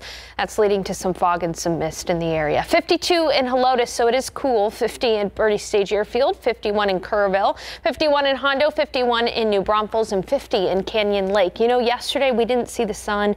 Most of us didn't see the sun around San Antonio, but today we will see the sun, all because a weak cool front is going to move through, honestly, within the next two, three hours, and that's going to clear skies for us and allow for a high temperature near 75. We'll wake up tomorrow morning at 39, and it'll be sunny and pleasant for the big game tomorrow, uh, 70 degrees. If you plan on maybe throwing football with some family or something like that, it, it'll be gorgeous tomorrow. So we will salvage a beautiful weekend after this morning's gray start. And then the question in the week ahead is all about Arctic air. How cold will it get here in San Antonio? Will the Arctic air make it to us? Well, I'm going to try to help solve some of those problems coming up in the full forecast. Sarah? Thank you, Sarah. In your top stories, a woman is shaken up after she was rescued by the jaws of life this morning. It happened just after 5:30 in high on Highway 281 and Wurzbach Parkway. Police say the 40-year-old woman was driving northbound of 281 when she saw an object in the middle of the road and tried to avoid it. That's when the car spun out of control and slammed into the wall. She got trapped inside of her car and EMTs had to use the jaws of life to take her out. She was taken to University Hospital with minor injuries. Officers on scene tell us alcohol was not a factor and they are ruling this an accident. Well, during the week, dozens of people experiencing homelessness were displaced after city crews dismantled homeless camps across town. Well, District 1 Councilman Roberto Trevino has actively fought against this approach and allowed for those in need to take refuge on his property of his field office. Alicia Barrera joining us live from the area with more on what's next for this community. Good morning, Alicia. Hi, good morning. Well, the encampment will remain in place for up to three weeks from today, and that's behind the field office of Councilman District 1, Roberto Trevino. And it's really a smaller encampment. Today, we've seen just a handful of people, and already they've packed up their things and left. But earlier this morning, when we arrived here, we saw some resting in sleeping bags, a few in a tent, and most lined up along the wall wrapped in blankets to keep warm. But What's the bigger picture moving forward? The latest idea to help alleviate homelessness here in San Antonio is to possibly buy a hotel for transitional housing. And this isn't an entirely new idea, as already the city, the city is leasing two hotels, including one at Haven for Hope, to help those experiencing homelessness. The city does want to avoid violent crimes, which council members, including Jada Andrews-Sullivan from District 2 and Trevino for District 1, understand. However, both elected officials say that there's enough money, enough resources, so they're hoping that together with other city leaders, they can find a better approach to uh, help this issue that is a big one here in San Antonio. And again, here, until then, it's unclear exactly what the future holds for those who have been displaced due to the city dismantling these encampments throughout town. Reporting live, Alicia Barrera, KSAT 12 News. Thank you, Alicia. Now to the latest in the pandemic here at home. Our seven day rolling average now sitting at 1,361 new cases every 24 hours. That's a slight increase from yesterday. We also now know 11 more people have died. So when it comes to our local hospitals, we have crossed the new benchmark. Only 999 COVID 19 patients admitted, 372 in the ICU, 217 of them are on ventilators. It's taken us a while to get here. The last time we had less than 1,000 patients in the hospital, that was way back on December 26th.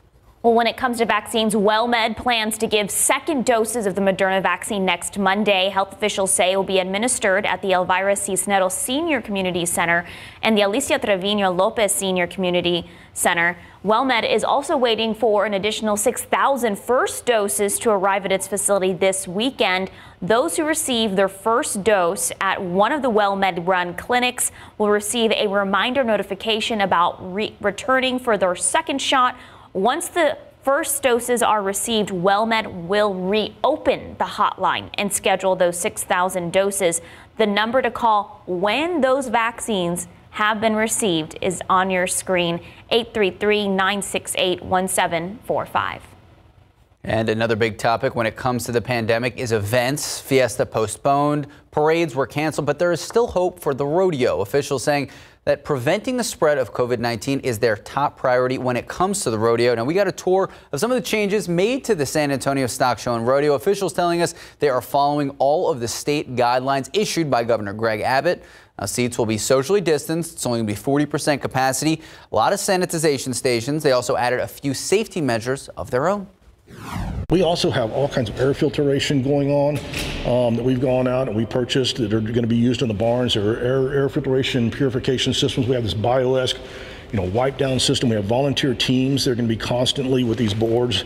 Say, keep your mask up, keep your distancing. You know, our people have embraced that. Video is set for February 11th to the 28th. If you have any questions, we have all the answers. Just head to ksat.com.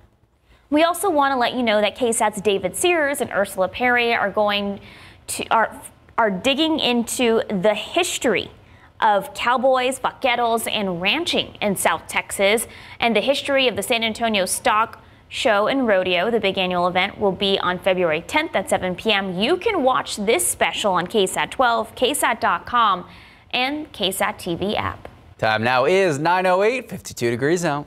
Well, still ahead on GMSA at 8, celebrating Black History throughout the month of February. Details on how one woman helped give teachers a new opportunity at NASA. And next, David Elder taking us inside a hot chicken sandwich food truck. We're talking about their, get this, spicy concha sandwich.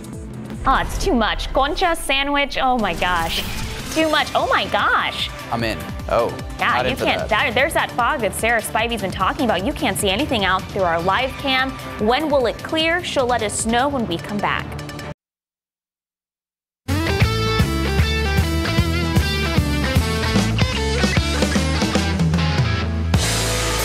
Everybody was doing a concha burger, so Yeah. I was like, well, let's have some fun and do a concha chicken sandwich. And you've delivered. So we got uh, avocado, egg, lettuce, tomato, comeback sauce, and mayo. That's the bite. I'm super excited.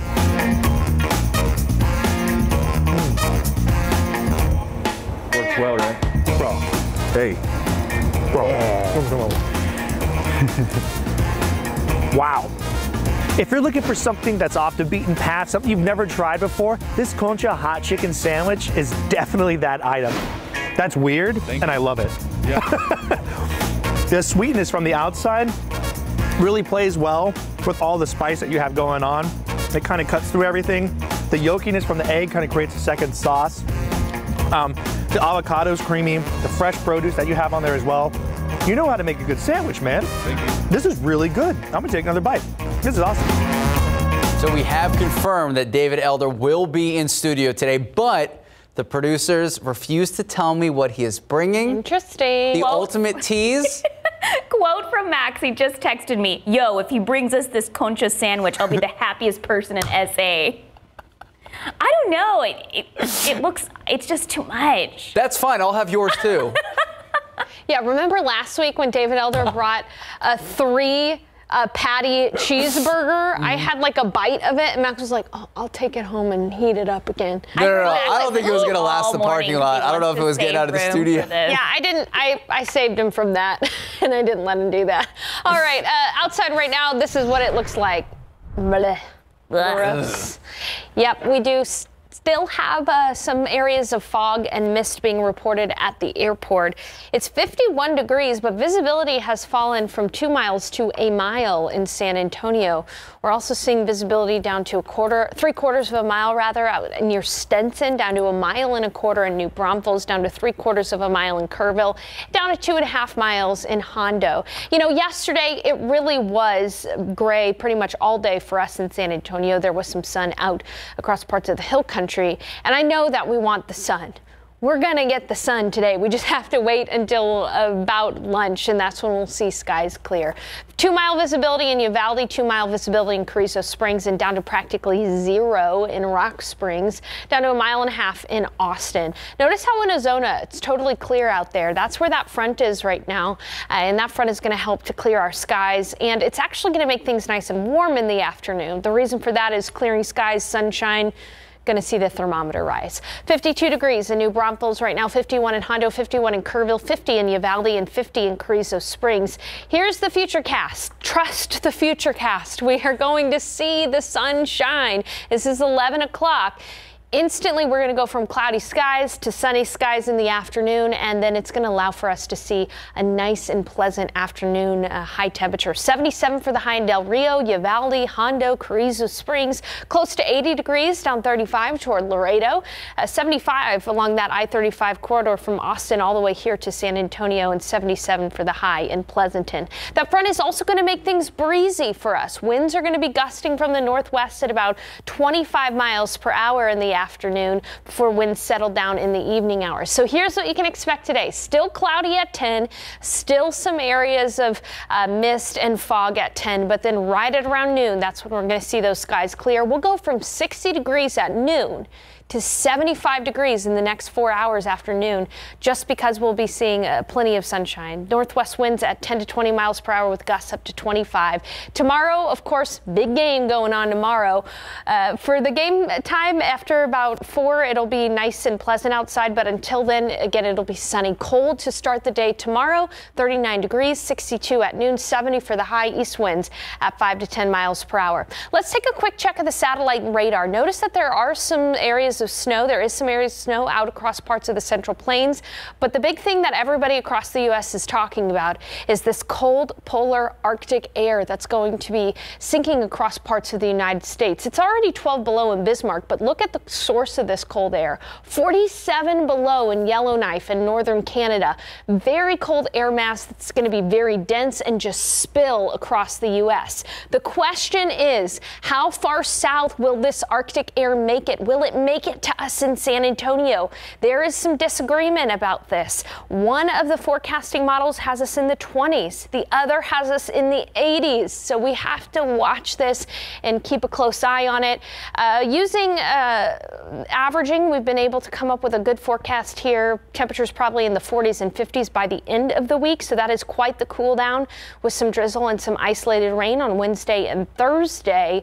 But until then, it'll be pretty mild. We're going to be waking up to morning clouds Monday and Tuesday with highs in the 70s because we got some uh, kinks to iron out in the forecast for the temperature forecast by the end of the week. You're going to need to keep on checking in with us. We'll have a better idea of that toward the beginning of next week, probably. Mm, 20s, 80s. Big difference. Thank you, Sarah. Oh, all right. Time now is 9:17, 52 degrees out. Are you craving something cold? Well, today's the day. Just ahead, a few fun facts about National Frozen Yogurt Day. Hmm. Plus, finding out where you should take your Valentine in a post-COVID world. We have the details next.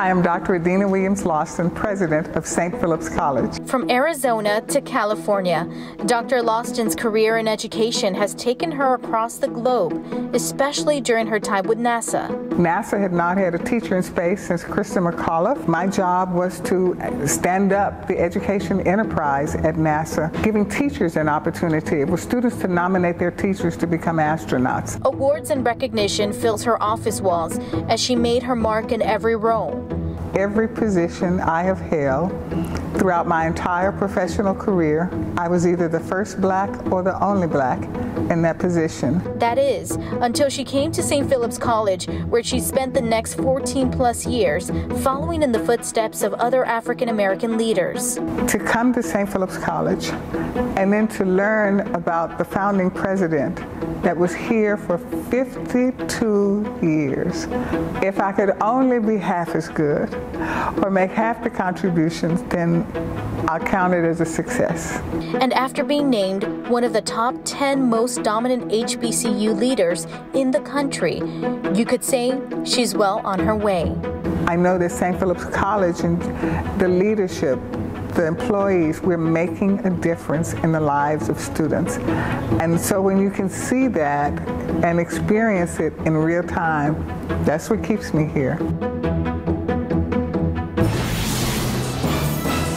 Good morning and welcome back. A lot of people enjoy a night out on Valentine's Day. Others prefer to stay in. But Sarah, if you could go anywhere in the whole world, money wasn't an issue after the pandemic, where would you go? I think New York City. Okay. Yeah. And that's what we're talking about, the trip of a lifetime. Well, if you're not sure, don't worry. We have a fun quiz that will help you decide right now on ksat.com. You can find out which romantic city you should spend Valentine's Day in.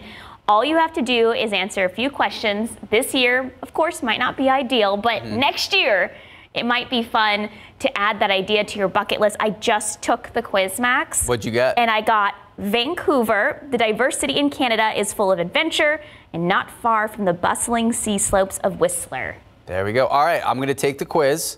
And We'll then- check back in. Yeah, I want to know. Look at that. Impromptu teases. so creative. All right, 923 and 52 degrees. Coming up after the break, an oddity to becoming a grocery staple. Details and facts on today's special holiday. Welcome back. You might be thinking it's too cold outside. Why would you want a frozen treat? Because it's never too cold for ice cream or frozen yogurt. okay. So we don't know why, but February 6th was picked as National Frozen Yogurt Day. So time to pile on the toppings. Frozen yogurt, slightly healthier option than ice cream, depending on what ice cream and what frozen yogurt you like, as long as you don't go overboard with the candies, the syrups, all the toppings, which I usually do. Fun fact, first developed in the United States in the early 1970s, but it was in the 1980s where it became so popular. So Sarah Costa, everyone out there, make sure to celebrate National Frozen Yogurt Day. Enjoy your favorite flavor and check out a new one. So, Sarah, if you had one topping to pick, what would you pick? Um, I always go with gummy bears. Ooh, okay. Yeah. This is a judgment free zone. I, there's no wrong answer. Okay, what's your topping? Cookie dough bites. Oh, good topping. Yeah, I know. 927, 52 degrees out. Three seconds is all it takes for someone to know whether they find you attractive. I don't know, but is that smile they're giving you a flirty one, or let's just be friends? Mm. Find out in the next half hour. Plus, the challenges that players, fans, and performers are facing ahead of the big game. We have all the details next on GMSA.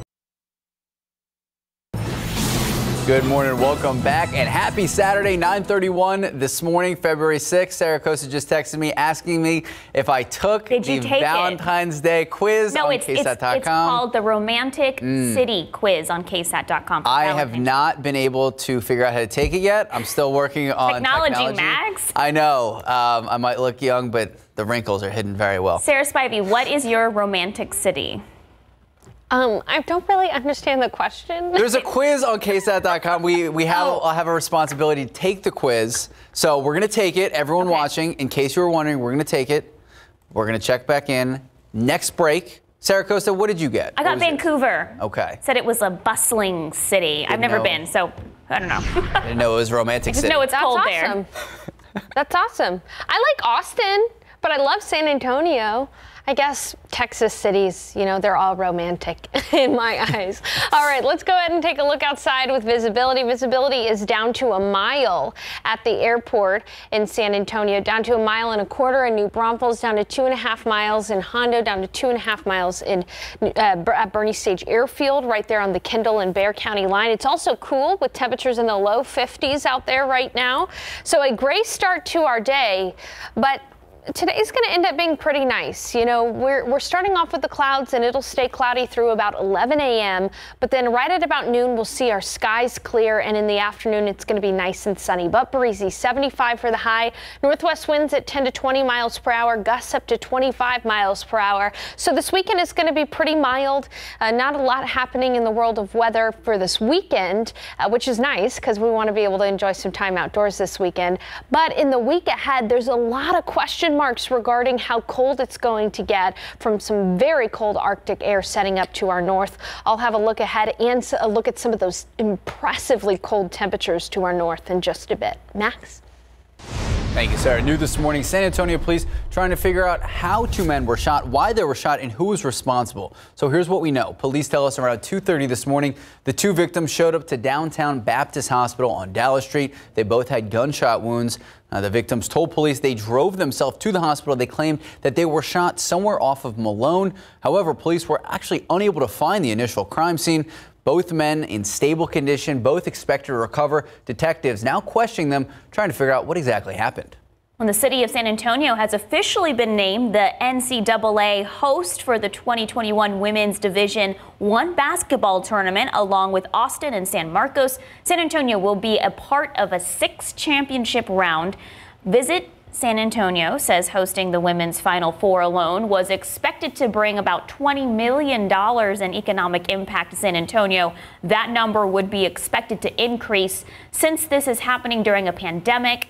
NCAA players must have seven consecutive negative tests before coming to San Antonio, and they'll travel by private charter. Local business owners hope the games will bring a boost in profits. Our staff is super excited they can make some money. The Riverwalk has really been hit. It is very quiet down here. I think it's the best news we've heard in a year. Well, Mayor Ron Nirenberg also expects more than 35,000 rooms to be booked downtown. Well, through this pandemic, families, businesses, and communities are dealing with the economic fallout. So, how is San Antonio doing, and what is the plan going forward when it comes to our local economy? To talk about our plan, the economic impact of the NCAA tournament that Sarah was just talking about, and a couple of new innovative initiatives, Richard Perez, the president and CEO of the San Antonio Chamber of Commerce, he's going to be joining us on Leading SA tomorrow at 8 a.m. If you have any questions that you would like asked, you can submit them right now. Just head to the Leading SA section of KSAT.com. Now, we'll look at the excitement building for tomorrow's big game and how players, fans, and halftime show performer, The Weeknd, are all dealing with their own challenges of the Super Bowl being held during this pandemic. ABC's Will Reeve is in Tampa ahead of tomorrow's action at Raymond James Stadium. With kickoff just a day away, Tampa is ready for a Super Bowl like none before. Of the 75,000 seats inside Raymond James Stadium, only 22,000 will be filled with fans, and 30,000 will be filled with cutouts, part of the NFL's Fans in the Stands program. All attendees of the big game are required to wear a mask, maintain social distancing, and will be given a PPE kit. A promo video on the stadium website showing off those safety protocols, as well as digital tickets and cashless food and beverage transactions. And while just one team will leave the stadium Sunday night as the winner, the NFL is declaring victory in getting to this point with postponed games, virus outbreaks, even fines for noncompliance. It's a big relief and a big, uh, you know, feeling of excitement that we've made it this far in the season. Because of COVID, the league debating last year whether there would be a season at all. What was necessary for the NFLPA to get over those ethical and moral hurdles to play a season? We did not want to be taking resources away from the general public. We didn't want to be taking testing resources away in particular. Until we were assured that we wouldn't become a burden uh, to America, uh, that was the only time that we started thinking about what to do.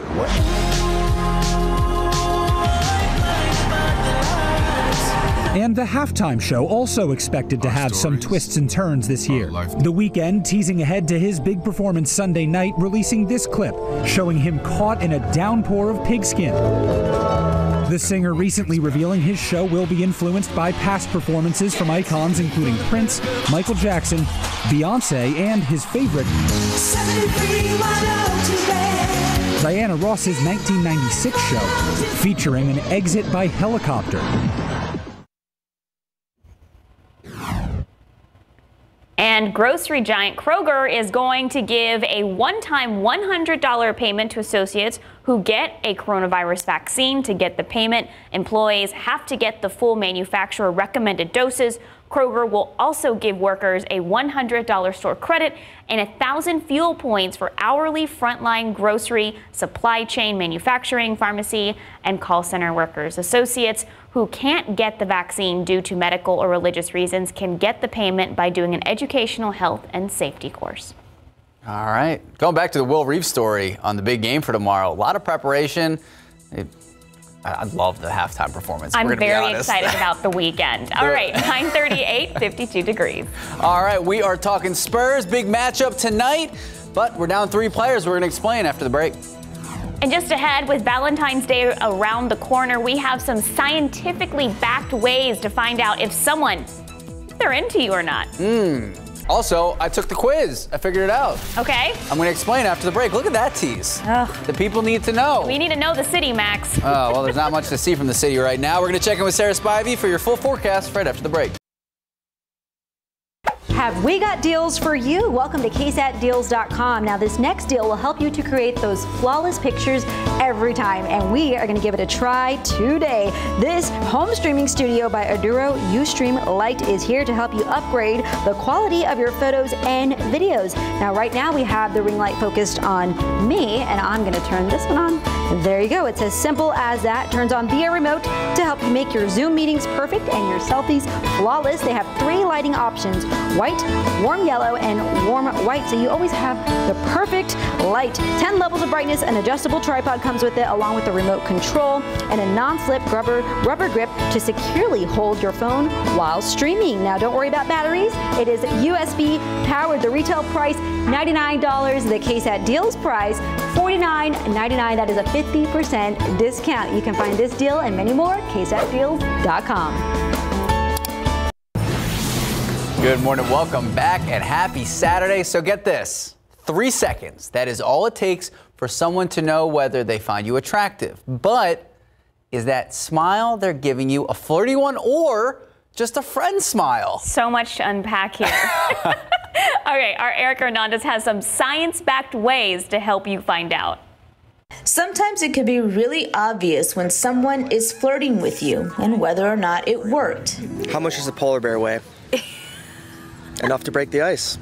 Other times, not. If you were a booger, I'd pick you first. But now there is research that looks into flirty facial expressions. Researchers from the University of Kansas took 500 photos of women with neutral, happy, and flirtatious faces and had several men interpret them. The researchers found there are four key factors to a flirty smile a head turned to one side and tilted down slightly, a slight smile, and eyes turned forward toward the implied target. Other flirty subtle signs women may show is using hand gestures a lot while talking and playing with clothing. Whether this worked, Excuse me, I think you have some pretty on your face. A little sunshine can also increase your odds. A study in France found when men asked women for their phone numbers, women were more likely to give their phone numbers on a sunny day. Erica Hernandez, KSAT 12 News. Meanwhile, during that, the three of us were just, we were smiling as creepily as possible. Hey. Big question though. Has anyone ever tried like a corny pickup line with you guys?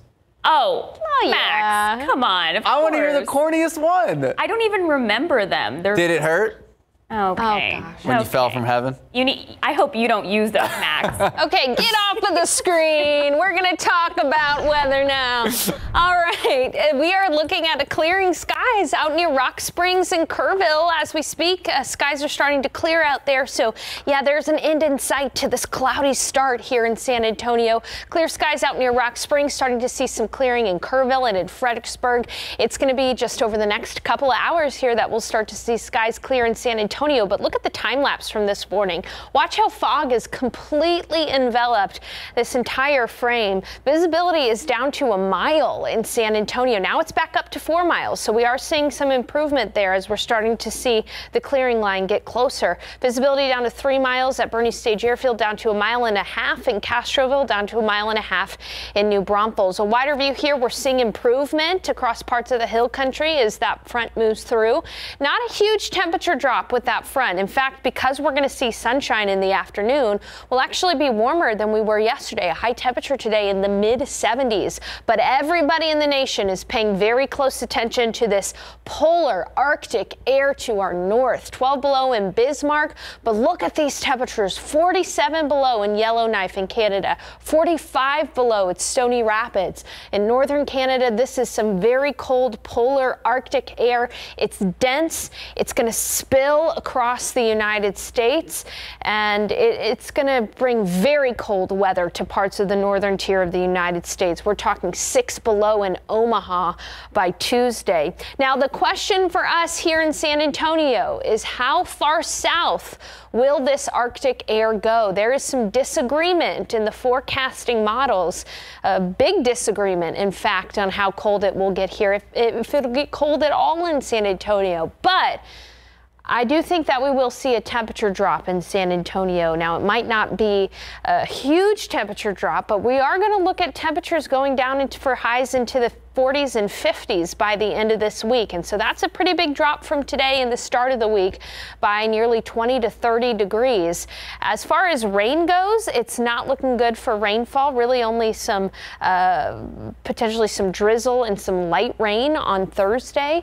Uh, but here in San Antonio, we're going to salvage a nice weekend. We'll be looking at that front moving through, clearing skies by lunch. And then in the afternoon today, 75 degrees for the high. Winds will calm down after a breezy uh, afternoon, and by the start of the day tomorrow, we'll be in the upper 30s, so a cold start to our Sunday. And in the afternoon tomorrow, sunny skies and 70 degrees to round out the weekend. So today is going to end up being a beautiful day after this gray start. We'll only be at 60 degrees at noon, but very quickly we'll see temperatures shoot up by about 15 degrees in the afternoon and then we'll be looking at a chilly evening. Winds will be breezy too. We're going to see winds turn to the northwest gusting up to 25 miles per hour this afternoon. You'll notice when the front moves through because of the clearing skies and the gusty conditions. Now looking ahead to next week, morning clouds Monday and Tuesday, but then pretty mild afternoons. And here's what we've got for our forecast so far for the end of the week. Temperatures dropping down into the 40s and into the 50s by the end of the week with drizzle on Wednesday, isolated rain on Thursday. Just going to be kind of a gray and damp close to the week with, uh, again, the potential for some very cold air to move into place. Those numbers at the end of the week are by, by far not the final numbers we'll have on the forecast. You're going to want to continue to check in with us as we get a little clarity on those temperatures by the end of the week. Thank uh-huh. you, Sarah. Max, you gave us your awful pickup line earlier. Can you give us your flirty face that the story was talking about? okay, I don't have the flirt. Oh, goodness. Are you waking or having a seizure? I'm not sure. Okay. Big news, though. David Elder just entered the building. He still won't tell me what he is bringing for food, but I can tell you we're going to be talking Spurs right after the break. Good morning. Welcome back. The private equity firm known as CVC Capital Partners, based in Luxembourg, they're looking to buy 15% ownership in the Spurs. That doesn't include any of the majority shares held by the Holt family. So all this comes after the Financial Times reported that last April, a minority stake in the team was up for sale. At that time, Peter J. Holt, the chairman of Spurs Sports and Entertainment, vowed that the ownership group is 100% committed to the Spurs. So don't worry. Spurs are staying in San Antonio. And here's a fun fact according to Sportico, the Spurs now worth more than $2 billion.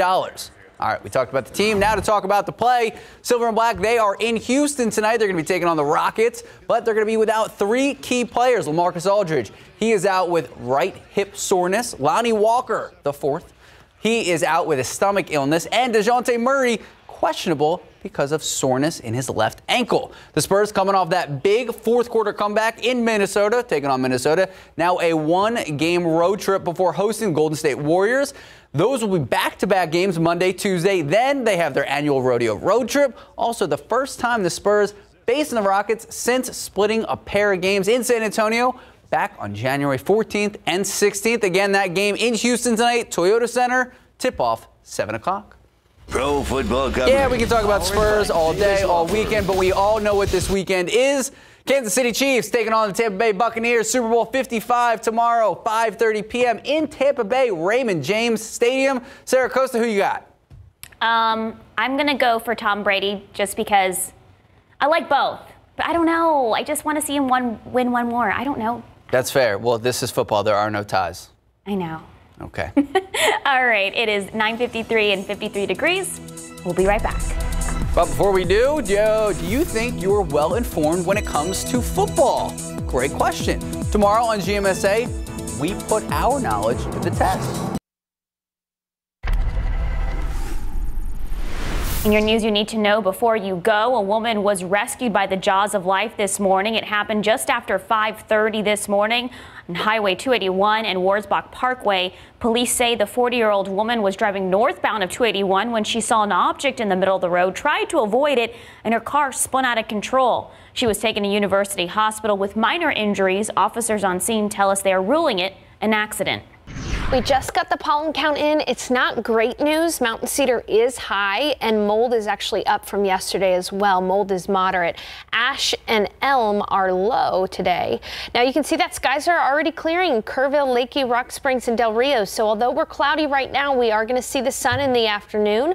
40, uh, 75 degrees rather for the high temperature and it'll be breezy with gusts up to 25 miles per hour. All in all, a beautiful day today and tomorrow for the big game. Morning clouds Monday and Tuesday and quite a bit cooler toward the end of the week. We'll be able to solidify those temperatures as we get closer to the end of the week, but there is a little uncertainty there. So continue to check back in with us. All right, so we want to give you a little sneak peek of this week's episode of Texas Eats. We have our own David Elder joining us in studio right now with all the details. Okay, so you've been keeping this a secret. I even asked the producers before the show. And they said nothing. They said, we're not going to tell you. David specifically I told, said. I said, don't tell Max. That's what I said. Go Okay, for it. open Let's it. see. Are you ready? Ah! Oh my goodness. Big game food. Oh, That's how we do it. Go. Look at that. 50 wings. Challenge accepted. What's everyone else going to eat? I don't know. All right, so we got the 25 wet, 25 hmm. dry. You got the habanero ranch on one side, mild buffalo. This is from Anchor Bar. This is from the home of the buffalo wing. This is where it was invented, right, in Buffalo, New York. So this is the real deal. What flavors we got? So I just, I just. No, you I said dry and wet. You said no dry and wet. habanero ranch and mild buffalo. Oh, I was. uh, My mouth is watering. I can't concentrate. I- I'm used I said to. it. I'm I used to said it. shootings and real upset things. This is like my. My mind is so focused. Yeah, this is on the Saturday mornings. This is your little beacon of happiness right here. It really in. is. Now, this is not on the show this weekend, but it is big game weekend. Of course. So I had to bring it in, wanted to uh, show it off. But real quick, when you watch the show this weekend, what's really cool, on the website, ksat.com slash Texas Eats, there's a map on there now Mhm. where you Oh. can go on there and it shows you all the restaurants that were featured on today's show and how to get there and a quick little bio about each one, a little bit of information. So if you head to the website, you want to know where to go, that's how you do it. So we've been asking people throughout the morning. We know Sarah Spivey, Chiefs. Yeah, Chiefs. Sarah Costa likes Tom Brady for some reason. We can't figure out why. I, I like Tom Brady. You're- so you're going for the him to win Chiefs. One more time. Who are you going with? I'm going with the Bucks, man. Why? No. Because I want Brady to get one more. Yes. Okay. I want him to ride off into the sunset. I'm, I'm a Brady fan, man. I'm a Brady fan. That's fair. I, I like Mahomes. He's a mm-hmm. good cat. He's going to be here for a long time. Yeah. He can win another one. He can win another, he can win another one. I want Brady to ride off. I want him to do it. And he's got a good squad. Hey, it does. All right, so we got about 40 seconds. Yeah. What should we expect in the show today? All right, we got brunch items, great stories at a cafe here in San Antonio, plus hot chicken sandwiches. Lots of hot chicken sandwiches. Can you ever have too many? I don't think so. And then a Mexican comfort food hot dog Mm. that's just loaded up. Carne asada, onions. It's it, it's like a bacon wrap hot dog. It's over the top. Oh my goodness. It's You would, you would enjoy it. You would enjoy It's it. dressed up, right? Wearing a dressed up. tuxedo. We have seven seconds. You want to throw it to your own show so I can There eat you the go. Uh, so don't eat all these right now, okay? But right, Texas Eats, new episode starts.